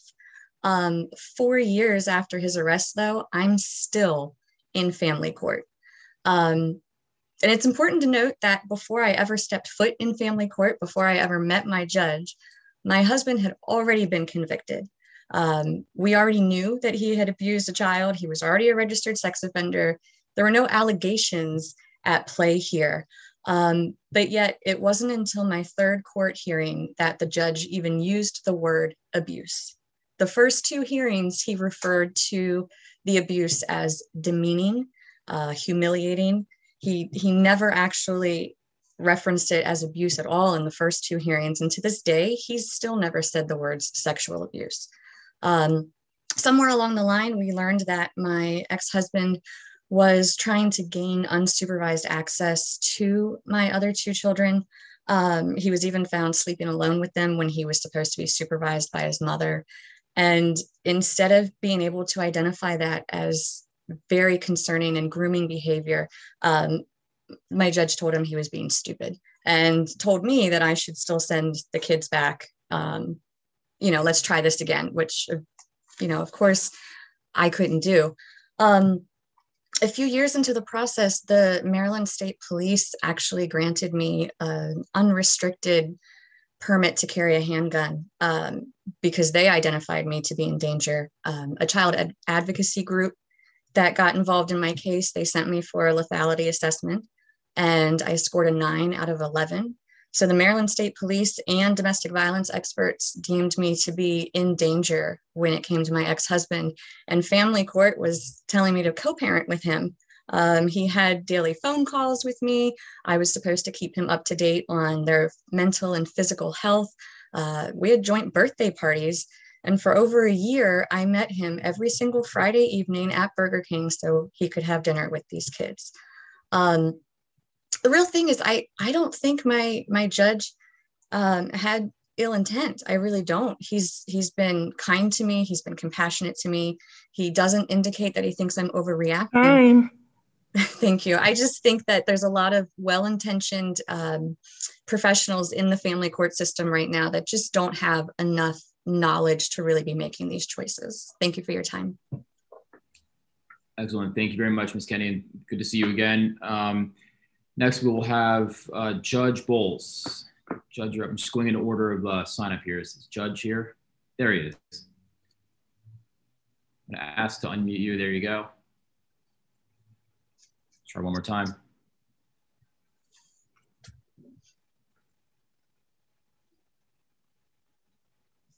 There's a screen pop up that says unmute. Oh, got it. There you go. Okay. Thank you. Thank you.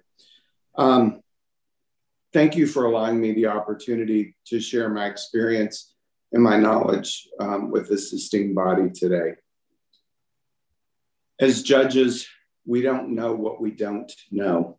I've served 20 years on the Kentucky Family Court. I've heard literally thousands of divorce and custody cases during these two decades.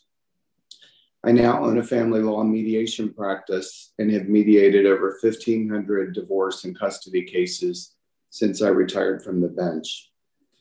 I've provided domestic violence and child abuse training through judicial colleges in 48 out of our 50 states and through the US Justice Department and the US State Department. I've trained judges in six foreign countries including China, Bosnia, Kosovo, and most recently in, in Egypt. Custody and parenting access decisions are the most important decisions that our courts are called upon to make.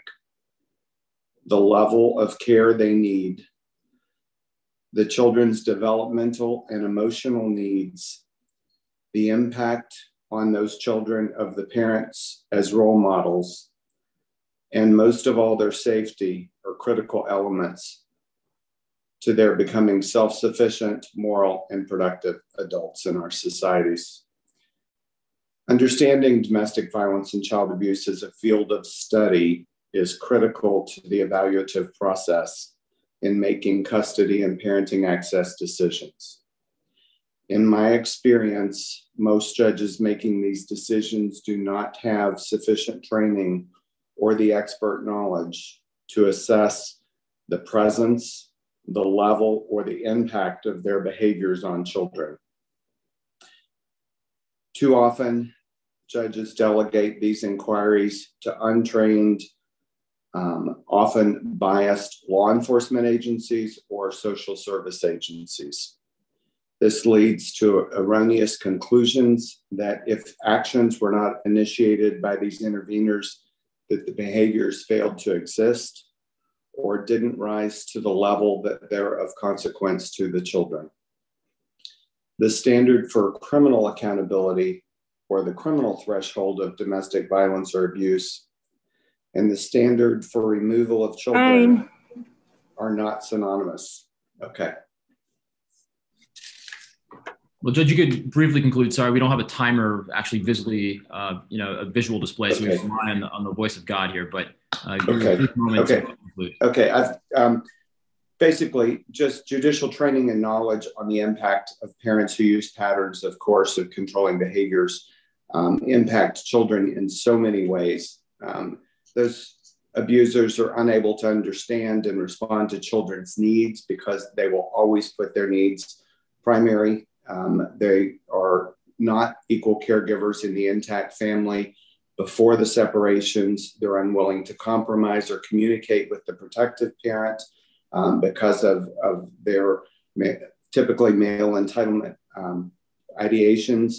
Um, the risk of physical and sexual assault on children by domestic violence batterers is 50 to 80 percent so we can predict that over half of domestic violence offenders will, after separation, abuse either physically or sexually their children.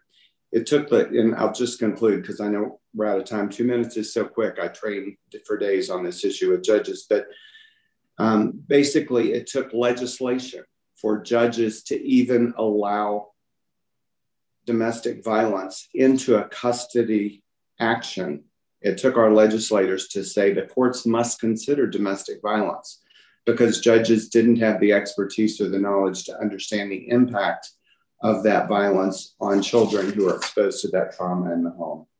Um, it's a complicated field. It requires lots of expertise in order to make these decisions. And so I would certainly be in favor of of requiring judicial training. We don't, judges don't know what we don't know. Thank you. Excellent. Thank you very much, Judge. Okay, next, we'll uh, switch over to, to General Singh. Good to, good to see you. Good to see um, you as well, Mr. Chairman. I've got I've got the flag you presented to me up here, so it's a, it's a, it found a, a, prominent place, and uh, nice. it's funny. It reminded me I had a conversation with uh, I told you with, with uh, General Matlock, uh, who yes sang your praises and spoke very highly. Anyway, well, um, you. good to see you. Good to uh, see you as well. Likewise. Um, well, so I'm just slightly different than um, a, a, number of the folks that came before because I am a, a uh, sexual assault survivor. Um, my adverse childhood um, experiences score is five. And you would look at that and say, well, how did she do so well? And obviously, it doesn't take into account um, the level of resiliency that a person can have.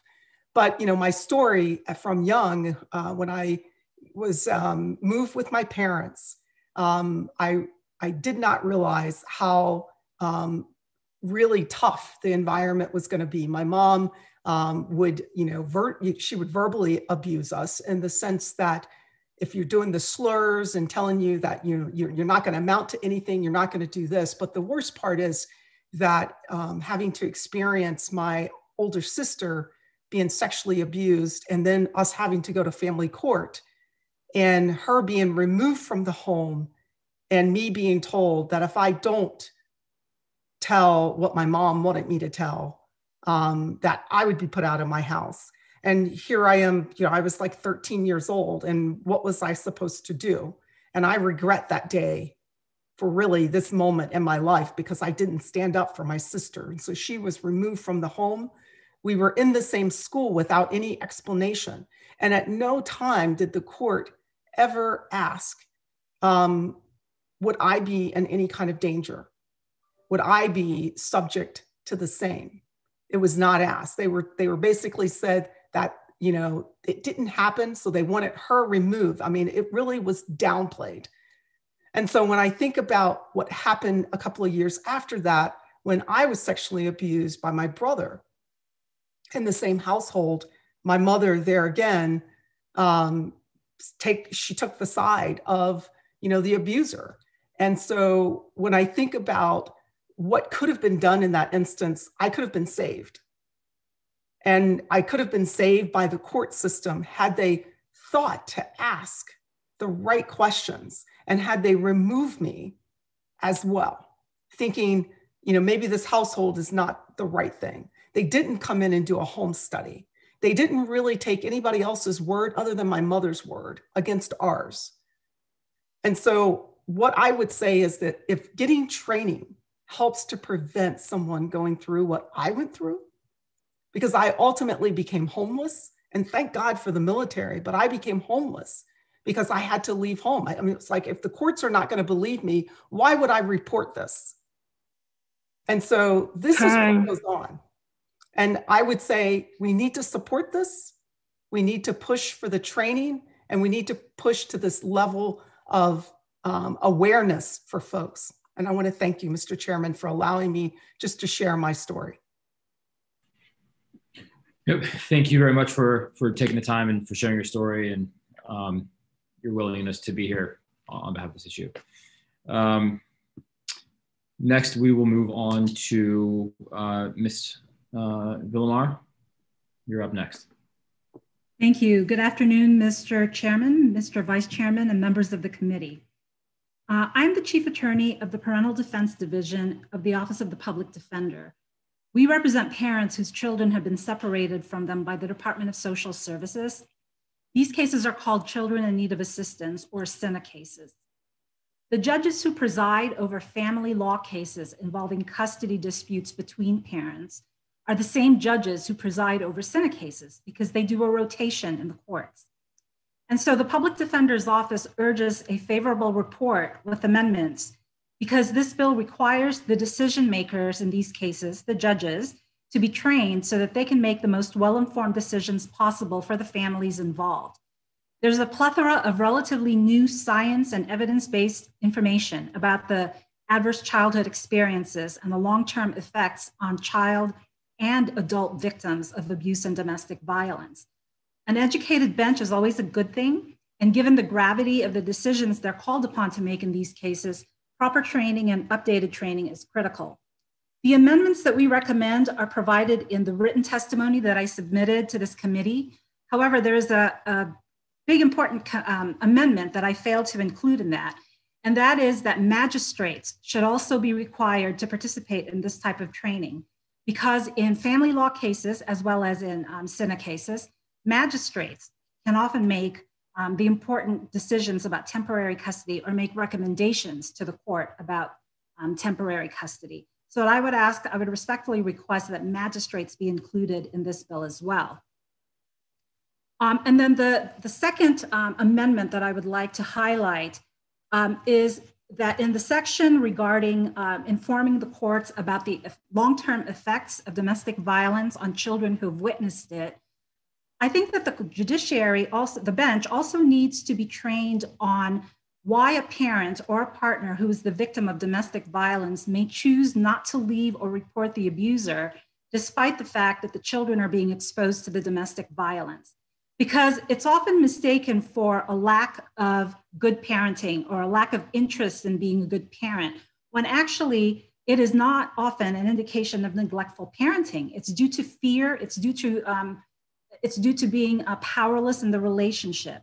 But without the training on this aspect of domestic violence, judges may erroneously conclude that because uh, exposure to domestic violence adversely affects children, uh, yes, then the non abusive parent who does not leave is complicit in harming the children. And that is a misconception. So thank you for the opportunity to express my concerns. Um, I do urge that you um, give a favorable recommendation with amendments. Thank you. Excellent. Thank you very much. And next we'll move over to Ms. Cooper. You're up. Uh, good afternoon, Mr. Chairman, honorable members of the committee. Uh, my name is Camille Cooper. I am Vice President of Public Policy for RAINN. RAINN is um, the largest anti-sexual violence organization in the US.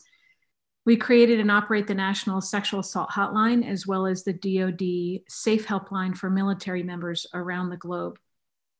Um, I, in the interest of full disclosure, I did sit on this task force, the working group task force, as a subject matter expert. Um, today, I am here in my capacity as Vice President of RAINN. We are supporting this bill, but asking for an amendment, which I will get to at the end of my testimony.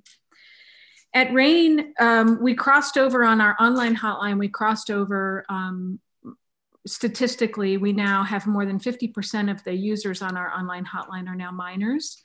67% of those are um, being abused by a family member, and 79% are actually living with their abuser.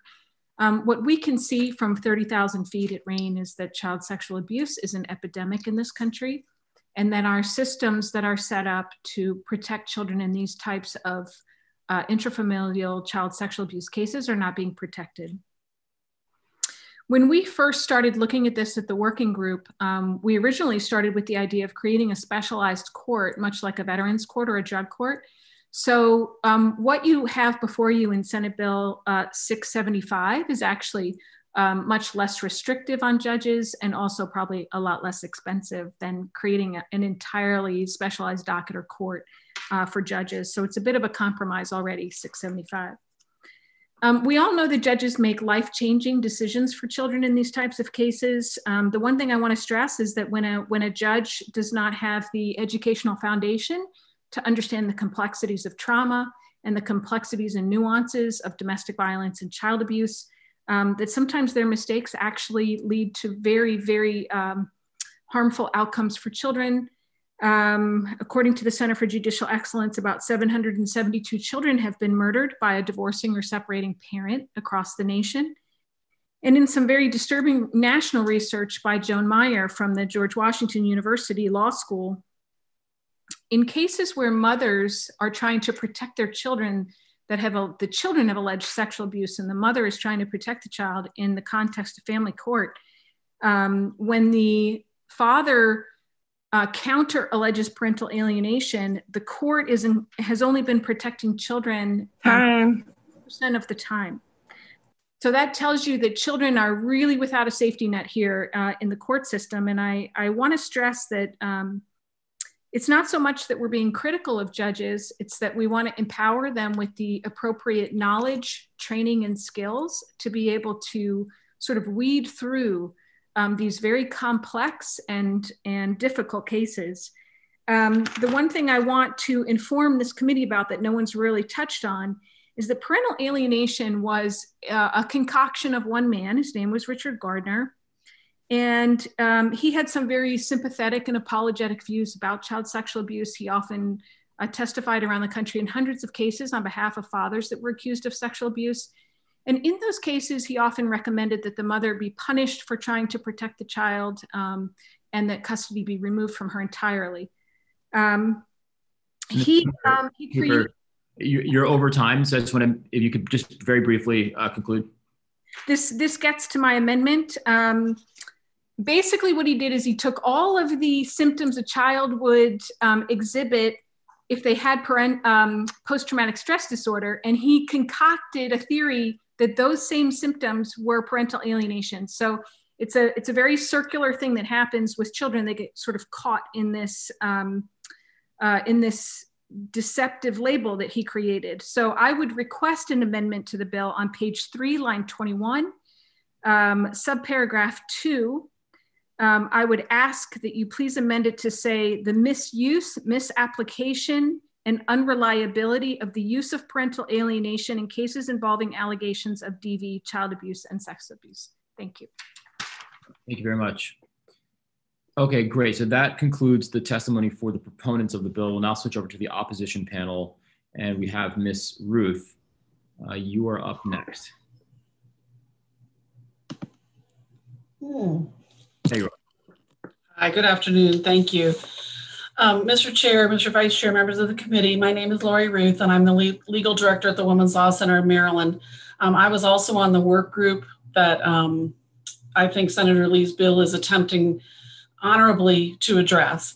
And I'm really sorry to have to be here today opposing this bill um, of Senator Lee's, our, our very good friend. Uh, you know, listening to the testimony in support, we agree, I can honestly say we agree with many of the things that were expressed here today. And I'm terribly sorry for Ms. Kenny and Ms. Singh's experiences with the court system. It happens. We're involved in cases like that, and it's really, really difficult uh, to figure out what to do. But this bill is not the proper answer in our view. We think it's a it's flawed for a variety of reasons. Um, you know, specifically uh, in terms of the judges' training, there are, are concerns, and I think there's been a prior bill this year about this that putting this in a statute makes it much more static. It's not as easy to revise as new uh, so, social science comes up and whatnot, it wouldn't be as easy for the judiciary to turn and add that or subtract something. And so, you know, we think that it's more appropriate that it stay within the purview of the judiciary. Now, I will agree completely that the judiciary um, was not very forthcoming to the work group and they wouldn't share their curriculum, which left us in a bit of a bind in that work group about what they're actually learning. So, so the premise that they should be learning this new social science is good, but I worry about having it in this statute. Um, secondarily, um, I really urge you to read the Maryland Network Against Domestic Violence's written testimony about the use of the lethality assessment.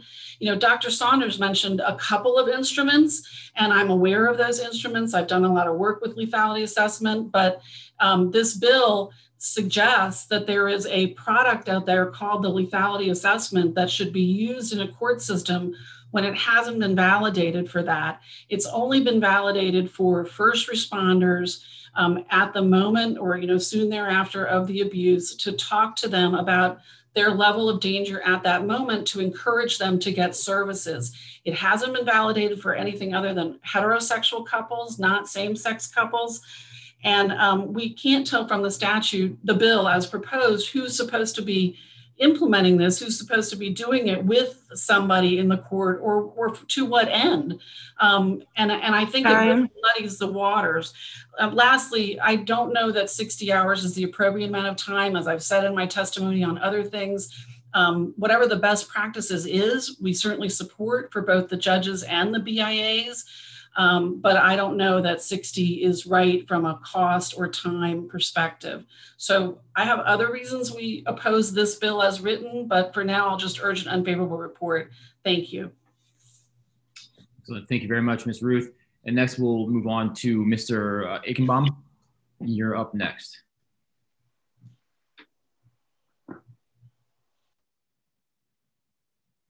Hello?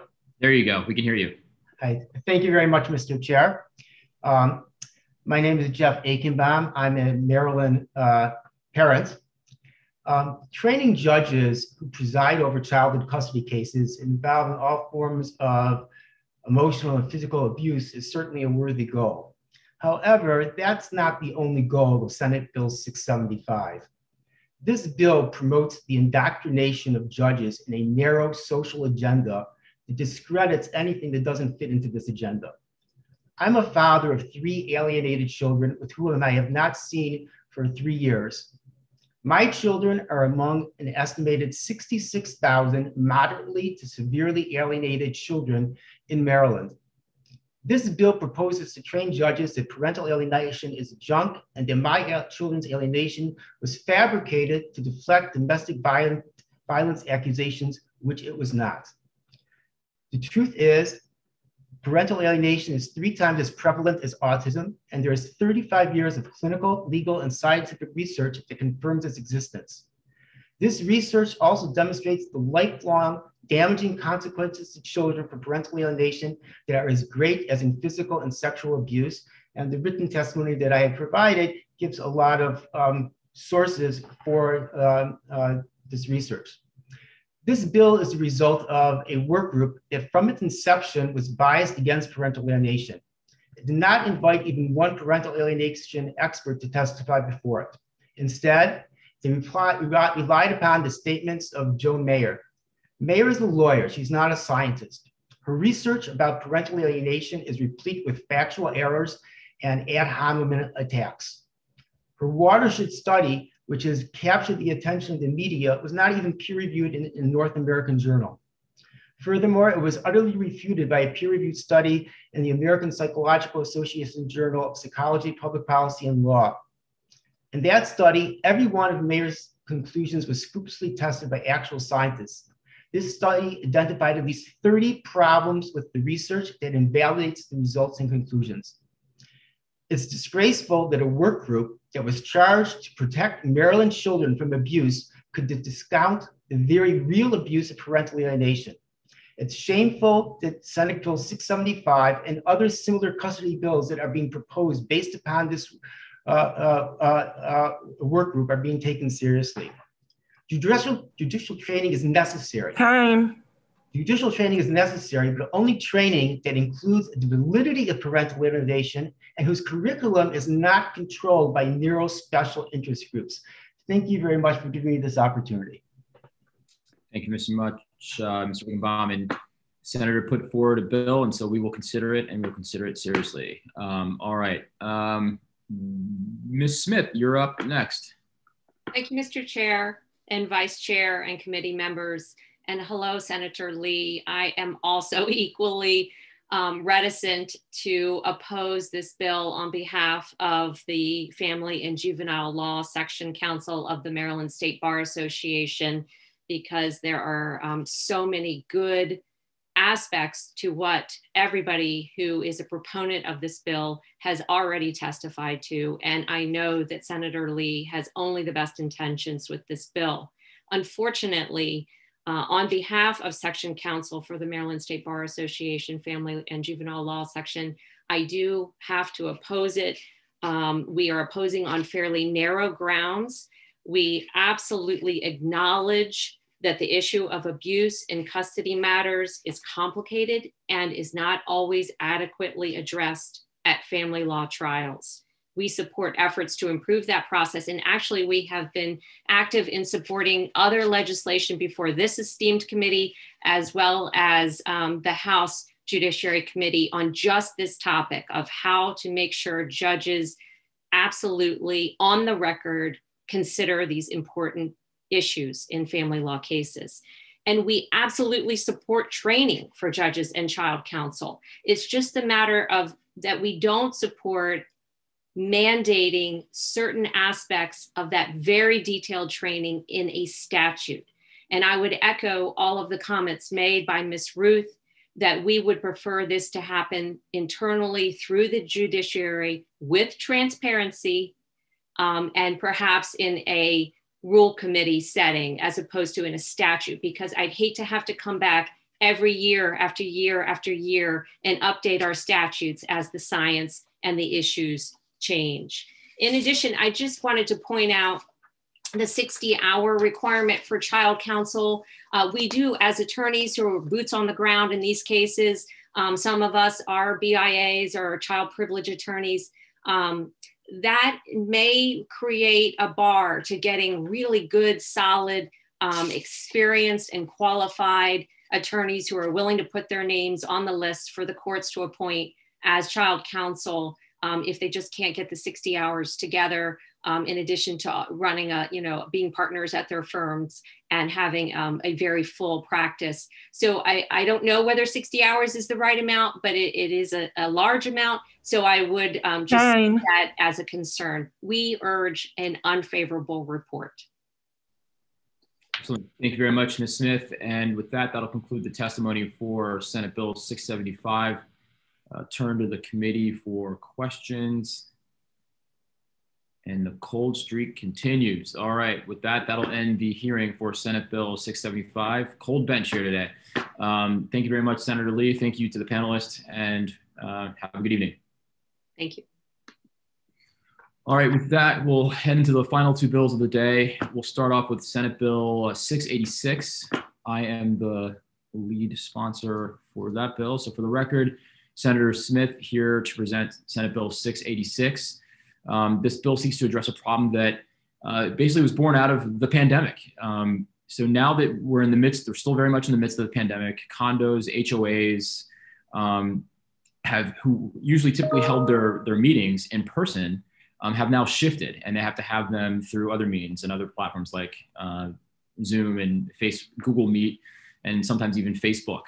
Um, and so there's an ambiguity in the law as to whether uh, these organizations are able to do this. Although many of them have adapted, still there there still exists a lot of ambiguity. Um, there's an example that I'll give you a kind of a vignette, um, which I think is a good case study for uh, why this bill is necessary. There's a, a property in, in, my district where the board used to have uh, regular meetings in a clubhouse, um, but very few people would show up. And so when the pandemic hit, uh, they struggled to kind of reinterpret their 20 uh, year old uh, bylaws. And so they just went ahead and pressed on and they started doing business over Zoom. And the silver lining in all of this is that more people showed up and more people got involved um, and actually ended up being a, a, net gain and benefit for the association and a safer means of communication. Um, so that's just one example of how the HOAs and the co-ops across our state are kind of shifting the way that they do business um, through the pandemic. Obviously, several states have uh, created or uh, had an uh, executive order for a state of emergency and several measures allowing for organizations such as this to meet uh, remotely have been in place. But when those uh, states of emergency cease and those executive orders are rescinded, um, there will be no protection left uh, after that happens. So um, this bill basically does a couple things. It's cross-filed with uh, Senator Holmes in the House. It just ensures that homeowners, uh, uh, homeowner associations, condos, uh, co-ops can meet virtually, um, and it prescribes some of the conditions in which they can do it. It's pretty straightforward. Um, and with that, I'll, uh, I'll rest and turn over to my panel and uh, ask the committee for a favorable report my first panelist. I'll see there. Uh, I'll just go with Mr. Friedman. You'll go first. Hold on, see, hold on. Let me unmute you here. Hold on. There you go. Uh, thank you, Mr. Chair, uh, for bringing and Mr. Vice Chair, members of the committee for the opportunity to testify. Uh, you here to testify on behalf of Community Association Institute's Legislative Action Committee in favor of Senate Bill 686, Farm Amendment. Um, so as you may already know, CAI represents uh, individuals and professionals who work with condominium associations, homeowners associations, community associations, and co-ops throughout the state of Maryland. Um, and as the chairman mentioned in his uh, testimony, since the pandemic hit, um, we've talked with a lot of groups about whether or not they're allowed to conduct virtual meetings. Um, the meetings are obviously necessary in order for them to conduct their business, hold elections, um, adopt budgets, take care of contracts, things of that nature. Um, and so just as the legislature has had to um, adopt, these groups need to do the same. Uh, so as the chairman mentioned, a lot of groups that we've talked to have actually gone ahead and uh, started conducting virtual meetings and we've seen a lot of positive results. Um, first and foremost is the uh, increased participation um, from the members and then also reduced costs of, um, of hosting these meetings, uh, flexibility in scheduling. Um, however, some groups still are holding off conducting their meetings um, and they would they're looking for guidance and would really benefit from having a virtual meeting process prescribed by law. Um, our only amendment that we're asking for is to make this emergency legislation uh, so that it would go into effect as soon as possible. Um, during yesterday's hearing in the House, the House bill sponsor Delegate Holmes uh, accepted our amendment as a friendly amendment. Um, and then just looking beyond the pandemic, uh, if we can ever get to that point, uh, this bill will continue to to benefit community associations by allowing uh, their meetings to be held virtually. Um, both Virginia and the District of Columbia have already adopted similar uh, emergency legislation, and Maryland has the chance to be the first to make this type of legislation permanent. Um, so, with that, we ask for a favorable, favorable report on Senate Bill 686 uh, with the amendment that it be enacted as emergency legislation, or at the very least, moved up from the October 1st start date. Again, thanks to the committee and happy to take any questions. Excellent. Thank you, Mr. Friedman. And we'll move on to Mr. Thompson. You're up next. And thank you, uh, Mr. Chair, Mr. Vice Chair, and honorable members of the committee. Thomas Thompson on behalf of CAI as well in support of this bill. And while we did have that initial single um, amendment to this bill, we actually have a more nuanced amendment as well. And that was only uncovered as we had a robust discussion about this bill yesterday um, in the House. So the bill drafters slightly changed the language that CAI presented, and it's in the opening phrase of A1 for each type of common ownership community. So as you can see, when you go through the bill, page two is co-ops, page three is condos, and page five are homeowners associations. And we're seeking to have these virtual hearings in all those settings because it is important and it does promote robust discussion of issues in our communities and, it, and brings about better results. But the opening phrase of each one of those sections currently reads, quote, notwithstanding language contained in the governing documents, end quote. And that is going to become a little bit problematic because as we presented it to the bill drafter, it should read, and this is how the rest of the condo, HOA, and common ownership law reads, except as otherwise provided in this title or in the governing documents of the Council of Unit Owners. Why is that distinction important? Most governing documents, as, as the chairman noted, are fairly old. Um, and they only provide for meetings either in person or um, by proxy. And they never contemplated this type of meeting. Why? Because the internet, quite frankly, wasn't even existed when most of these communities were constructed. So we tried to have consistent pattern language throughout uh, the Homeowners Association Acts and the Common Ownership Community Acts to be uniform and to make their application in these self-governing bodies easier to do. And so we think if you just give A1 of each section that the board of directors may authorize this type of behavior, they don't have to authorize it, but they may. I think we would get a great benefit in this bill for these communities moving forward and, and more robust participation. And for that, we support the bill and we thank you for your consideration. Excellent. Thank you, Mr. Thompson. Uh, now let's see, that concludes the testimony for Senate Bill 686. We'll switch over to the committee for questions. Senator Hettleman. Thank you, Mr. Chair. And um, I think this is a, fine bill offered by the chairman. I'm gonna, I'm gonna, if he'll indulge me, I just want to point out. Um, I don't know if this has ever happened in the committee, but Eli Friedman is a constituent, and his mom just testified in the hearing before this one, Laurie Ruth. So I want to welcome him. I don't know if this is his inaugural time testifying in Annapolis, but great to see uh, my 11th district constituent. It is. Thank you so much, Senator. It's a JPR first. So there you go. Mom and son, back to back. Doing the people's work. All right, excellent. All right, um, looking around the room for additional questions. Okay, excellent. With that, that'll conclude the hearing for Senate Bill 686. Thank you all very much. Good to see you all. Uh, we'll now move on to Senate Bill uh, 834, and I'm the lead sponsor there. So good afternoon, committee members. For the last bill of the day, Senator Smith here to present Senate Bill 834. So I got this idea, uh, the idea for this bill uh, through an organization, an association that my firm is a part of, which is the Metropolitan Employment Lawyers Association, which is MWELA. And it was during one of these meetings that I actually uh, I learned of a measure that passed in New York and California, and then Montgomery County had actually done the same thing, which greatly improved upon our employment discrimination and anti-sexual uh, harassment law. So remember, we all remember, I think all of us were actually here in the assembly when um, under the leadership of Speaker Busch and Senate President Mike Miller, um, they developed a commission on workplace harassment and remember the work that that highly publicized report, and then we moved forward with implementing a number of those recommendations. Uh, however, uh, workplace harassment is still a widespread problem, and there still uh, need to be some strong protections uh, put in place. And this is something that's become all more apparent during the pandemic, especially for low-wage women. So nearly two, two thirds of low-wage workers in Maryland are women, uh, and they're especially at risk given the stark power imbalances. This is ripped from a, a, piece of testimony that you'll hear a little bit later on. The power imbalances uh, that exist within those workplaces. And when you're uh, in a situation in which the pandemic's going, uh, job prospects are low um, and tenuous and precarious, um, that just again alters the power balance and opens the door for greater uh, uh, opportunity for abuse and harassment. According to the Equal uh, Employment Opportunity Commission, the EOC, at least one in four women have been sexually harassed in the workplace. Um, and workplace harassment is alleged in nearly 30% of all the complaints filed with the EOC. Again, um, not very many women uh, report this type of harassment because of the precarious nature of their employment status. So uh, the Senate Bill 834 seeks to clarify the, uh, that harassment can occur under state law, even if it doesn't meet what the courts have previously called the severe and pervasive standard. So what this bill does is it alters the state government's article of harassment relating to employment discrimination.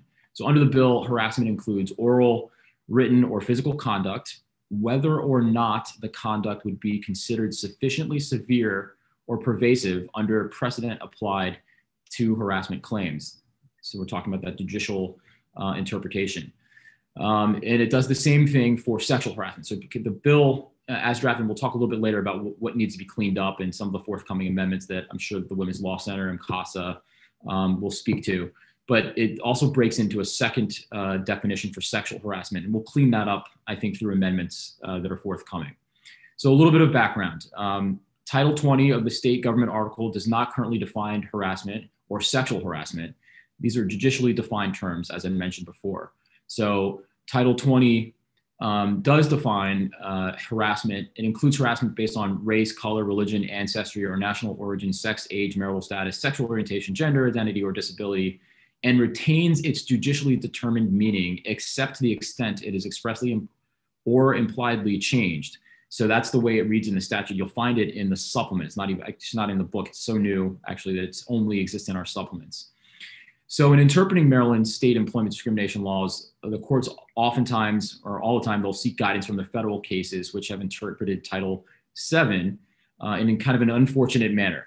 Uh, so in evaluating these, uh, whether conduct is severe or pervasive, um, to create something that's a, an intimidating or hostile work environment, a number of the lower courts have interpreted the severe uh, or pervasive standard uh, so narrowly that the conduct that anyone on this committee would find to be egregious is not considered. So it doesn't fall under this judicially uh, determined, this, this, constructed definition of severe and pervasive.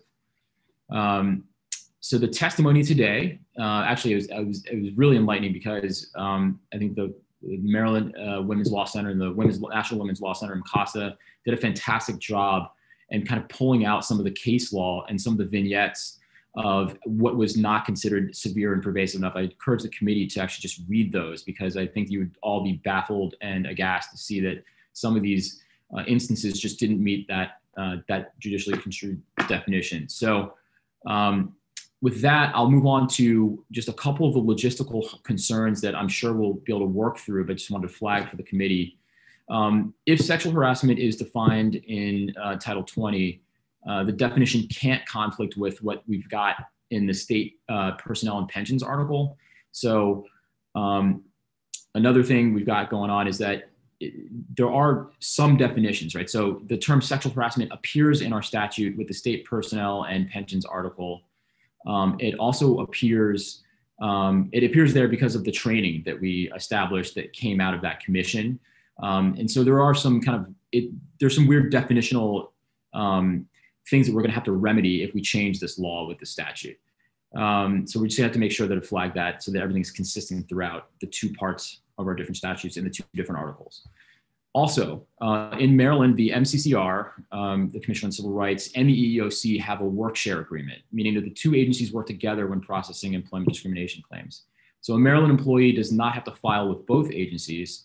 Instead, they can, uh, they can file their claim with either or, uh, and indicate that they want to cross-file their claim, they can do that as well. So if this, if we were to adopt this lower standard, the work share agreement um, might not work. And so we can bring in the, the commission to kind of work through those logistical problems as well. That's just another obstacle that uh, I'd like to flag for the committee. Uh, additionally, uh, the training, um, if, we, if we change this definition, the training is gonna have to be reflected with that new definition as well um, as we move forward. So you'll see these forthcoming amendments from the Women's Law uh, Center, the Women's Law Center for uh, Maryland Internationally, MCASA. I, I, consider all those amendments that I've read through, at least that I had time to look at, to be friendly.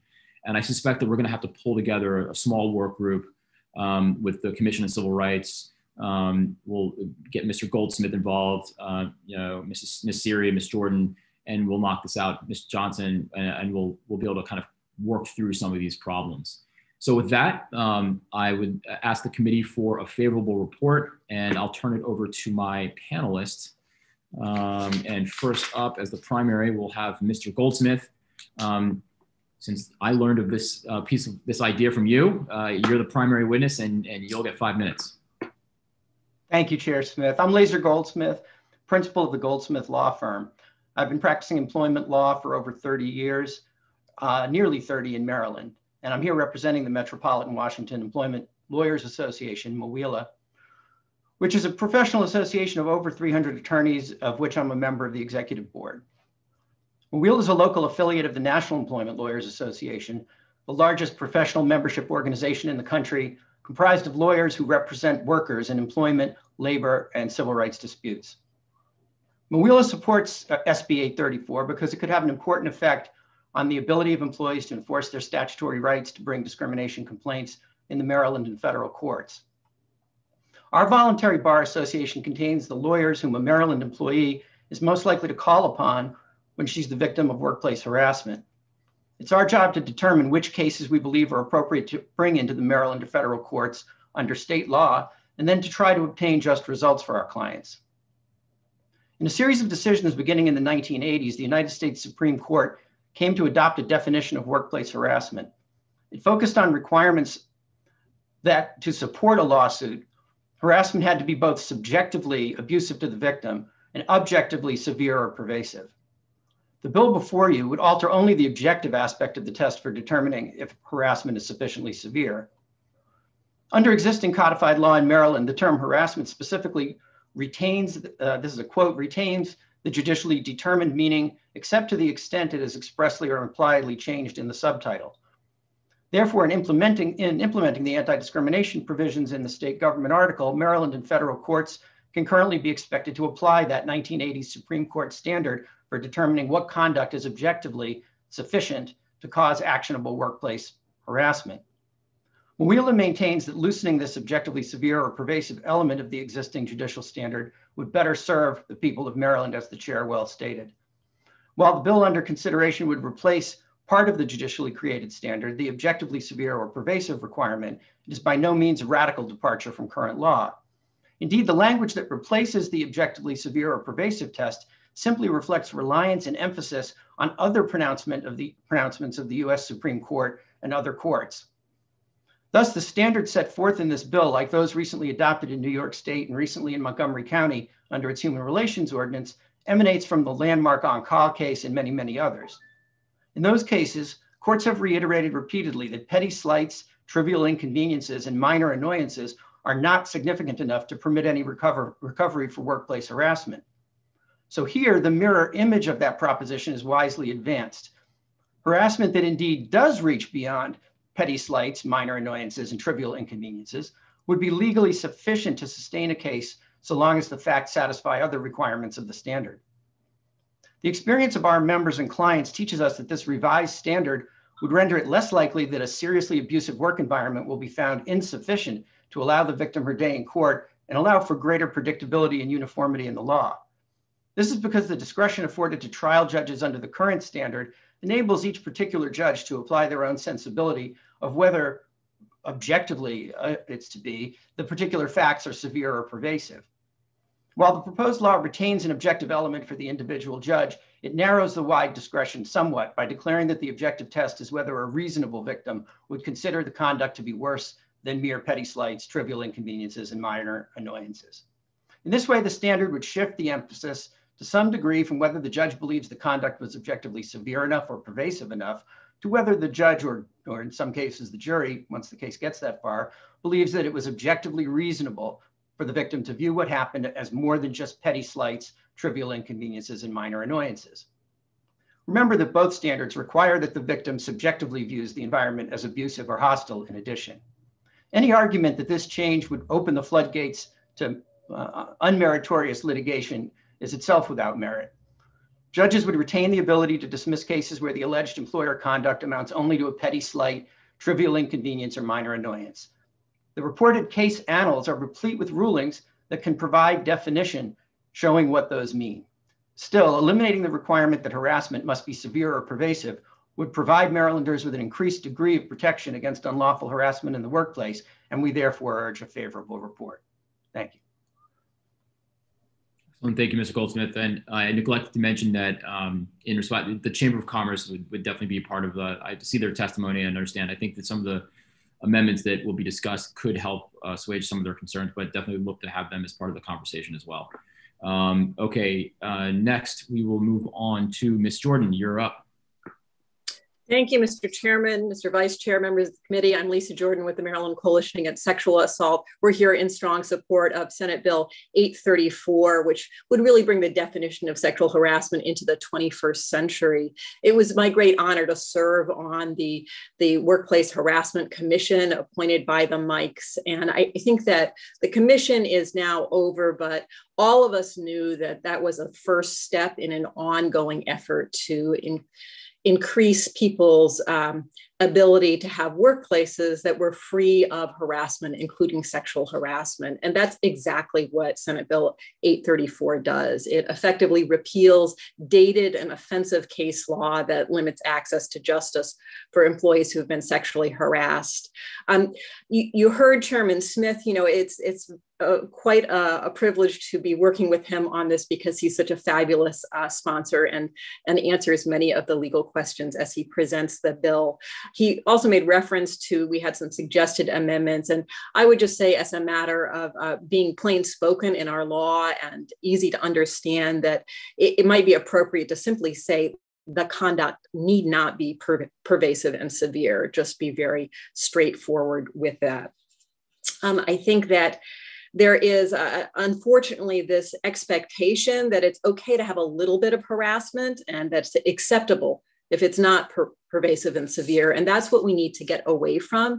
And frankly, that's what many of our workers expect these days. I think that people have grown up now into the hashtag Me Too era. There is a change in what people are expecting in the workplace. And if you look at some of the, the stories they are phenomenal. A, a, supervisor entering the men's room frequently when the plaintiff was in the restroom alone, asking, you know, ah, alone at last, after pretending to lock the door, using a magnifying glass on the employee's crotch, saying, Where is it? Where is it? Um, saying, they bump together and saying, You only do that so you can touch me and also saying one time confined in a dark room was it as good for you as it was for me? Attempting to force himself into a one person revolving door all together those things all together for one person by uh, by their coworker were found not severe and pervasive and that's simply no longer what we expect of our workplaces so there are other examples I, I urge you to read them and the maryland coalition against sexual assault urges a favorable report on senate bill 834 Excellent. Thank you, Ms. Jordan. Uh, next, we will have Ms. Johnson. Thank you, Chair Smith and committee members. Andrea Johnson from the National Women's Law Center. I'm also a proud resident of Silver Spring and a constituent of, of Senator Smith. Um, the National Women's Law Center strongly supports the intent of SB 834, this intent to reject the severe pervasive standard, which some courts, including in the Fourth Circuit, where Maryland resides, have interpreted in really harmful and outdated ways, um, such that cases involving conduct that most of us would find egregious harassment are thrown out and not given a full and fair hearing. That includes examples like uh, Lisae just brought up, but also when a worker was repeatedly making sexual comments towards another worker over a year and suggesting she be spanked. Court found that that was not severe or pervasive. The standard has been particularly harmful for women of color because under the standard, what courts do is they parse apart and isolate and minimize the intertwined sex and race aspects of harassing conduct that a woman of color might experience, instead of viewing the conduct in its totality. Because of this problematic severe pervasive standard, we're seeing uh, states and cities across the country rejecting the standard, including, as you mentioned, most recently in Montgomery County, but also New York, California, and New York City actually re- rejected the standard back in 2016. We're seeing states from Virginia to New Jersey to Oregon this session working in similar legislation to this, recognizing that this really gets at the heart um, of addressing the problem of pervasive harassment throughout our workplaces. Uh, the language in SB 834 is not as expansive as the language that has uh, passed in New York or California, as this bill rejects the unreasonably high or pervasive high, severe, pervasive standard, but otherwise still follows very closely the federal law definition. To um, Laser's point, is not a, a, a grand departure from federal law. Um, while we strongly support the goal of this bill, we feel courts and employers would benefit if amendments were added to further clarify what is the standard for when conduct rises to the level of harassment and to provide guiding rules and factors to guide courts' evaluation and help ensure a fair, unbiased hearing for employers and employees. We're concerned that without these amendments, the the courts might fall into the same analytical pitfalls as under severe pervasive and and find that you know other language in the bill they'll just end up kind of interpreting that in the same way as severe pervasive so we provided some detailed amendments in our written testimony to really refocus courts on what was intended to be the heart of the analysis which is whether the harassing conduct is serious enough that it unreasonably alters the jobs and its terms and conditions the standard and guiding rules in our amendments are pulled from federal case law and guidance. I'm happy to answer questions about those amendments. Thank you. Excellent. Thank you very much. And next we'll have Ms. Siri. Thank you so much. Good afternoon, Mr. Chair, Mr. Vice Chair, members of the committee. For the record, my name is Michelle Siri. I'm the Executive Director of the Women's Law Center of Maryland, not related to the national organization. And one of our many services that we operate is one of the only, if not the only, free statewide employment law hotlines in Maryland. I know my time is brief, so I'm going to just start off by saying we are fully in favor of the intent behind this bill. Thank you, Mr. Chair, for bringing it. Um, and we would very much look forward to working and an opportunity to work with Ms. Jordan, uh, Ms. Johnson, who we work with all the time, and of course, Mr. Goldsmith as well. I've had the pleasure of working with him, and so we'd look forward to that. You've already heard what the bill does, and I don't need to belabor how onerous the severe pervasive standard is. Uh, but I do think that when it comes to statutory interpretation as a practitioner, I believe sometimes less is more. And so to that end, I do think, you know, there's language, we've already heard a little bit of it, um, that can clarify because I think uh, specifically having language about the not falling under precedent could actually lead to incredible confusion and some seriously unintended consequences, including courts creating a new, more stringent interpretation. Just because it doesn't fall under prior precedent doesn't mean they couldn't do something else. And so the, the easy suggestion that I would suggest uh, is that explicit statement that the harassment, um, the conduct need not be severe or pervasive, period. It's unequivocal, it's unambiguous, um, and it doesn't leave room for misinterpretation. Similarly, there's uh, places where the language talks about a reasonable victim of discrimination, uses terms like petty slights, trivial inconvenience, minor annoyances. We think that um, those could also lead, lead to negative um, consequences, and we would respectfully suggest language such as on the basis of the record as a whole or according to the totality of the circumstances because i think that's really the intent that that's behind that language. It's trying to get to the court must consider a multitude of factors. We cannot be looking at these in isolated in isolation just as ms johnson was saying especially when it comes to the intersection of race and gender. We can't be taking them apart and just looking at them um, separately. And so i think something like that language might be um, better for, better suited for the statute. And for all of those reasons, like I said, we would be happy to, um, to work on this. We 100% support the concept. Um, and also we support moving, quite frankly, the definition into Title 20. I think that's a smart move and, and makes a lot of sense as well. So thank you for the opportunity and, and happy to answer any questions. Excellent. Thank you very much. Um, yeah, the, the petty slights, I'd be interested to learn the history of that because that's in the statute now. And I thought that language is interesting, um, just having not, you know, I don't practice in this area in the Maryland, so that's interesting. Uh, always interested to hear the history behind that. Okay, um, so with that, I think that concludes the testimony for the bill. We'll now turn it over to the committee for questions. Excellent. Seeing none, that concludes the testimony for Senate Bill 834. Thank you all very much. I'll um, I'll be re I'll reach out to you all to circle up, see if we can do a, a Zoom meeting in the next week or so um, to hammer out some of the details before I bring it up for vote. Thanks. All right.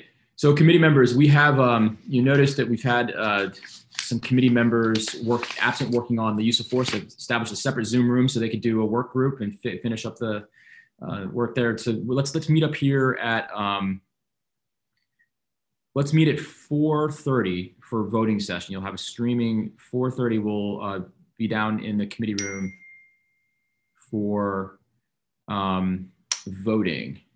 Is that enough time for everyone? 4.30? Okay, great. I'll see you all soon.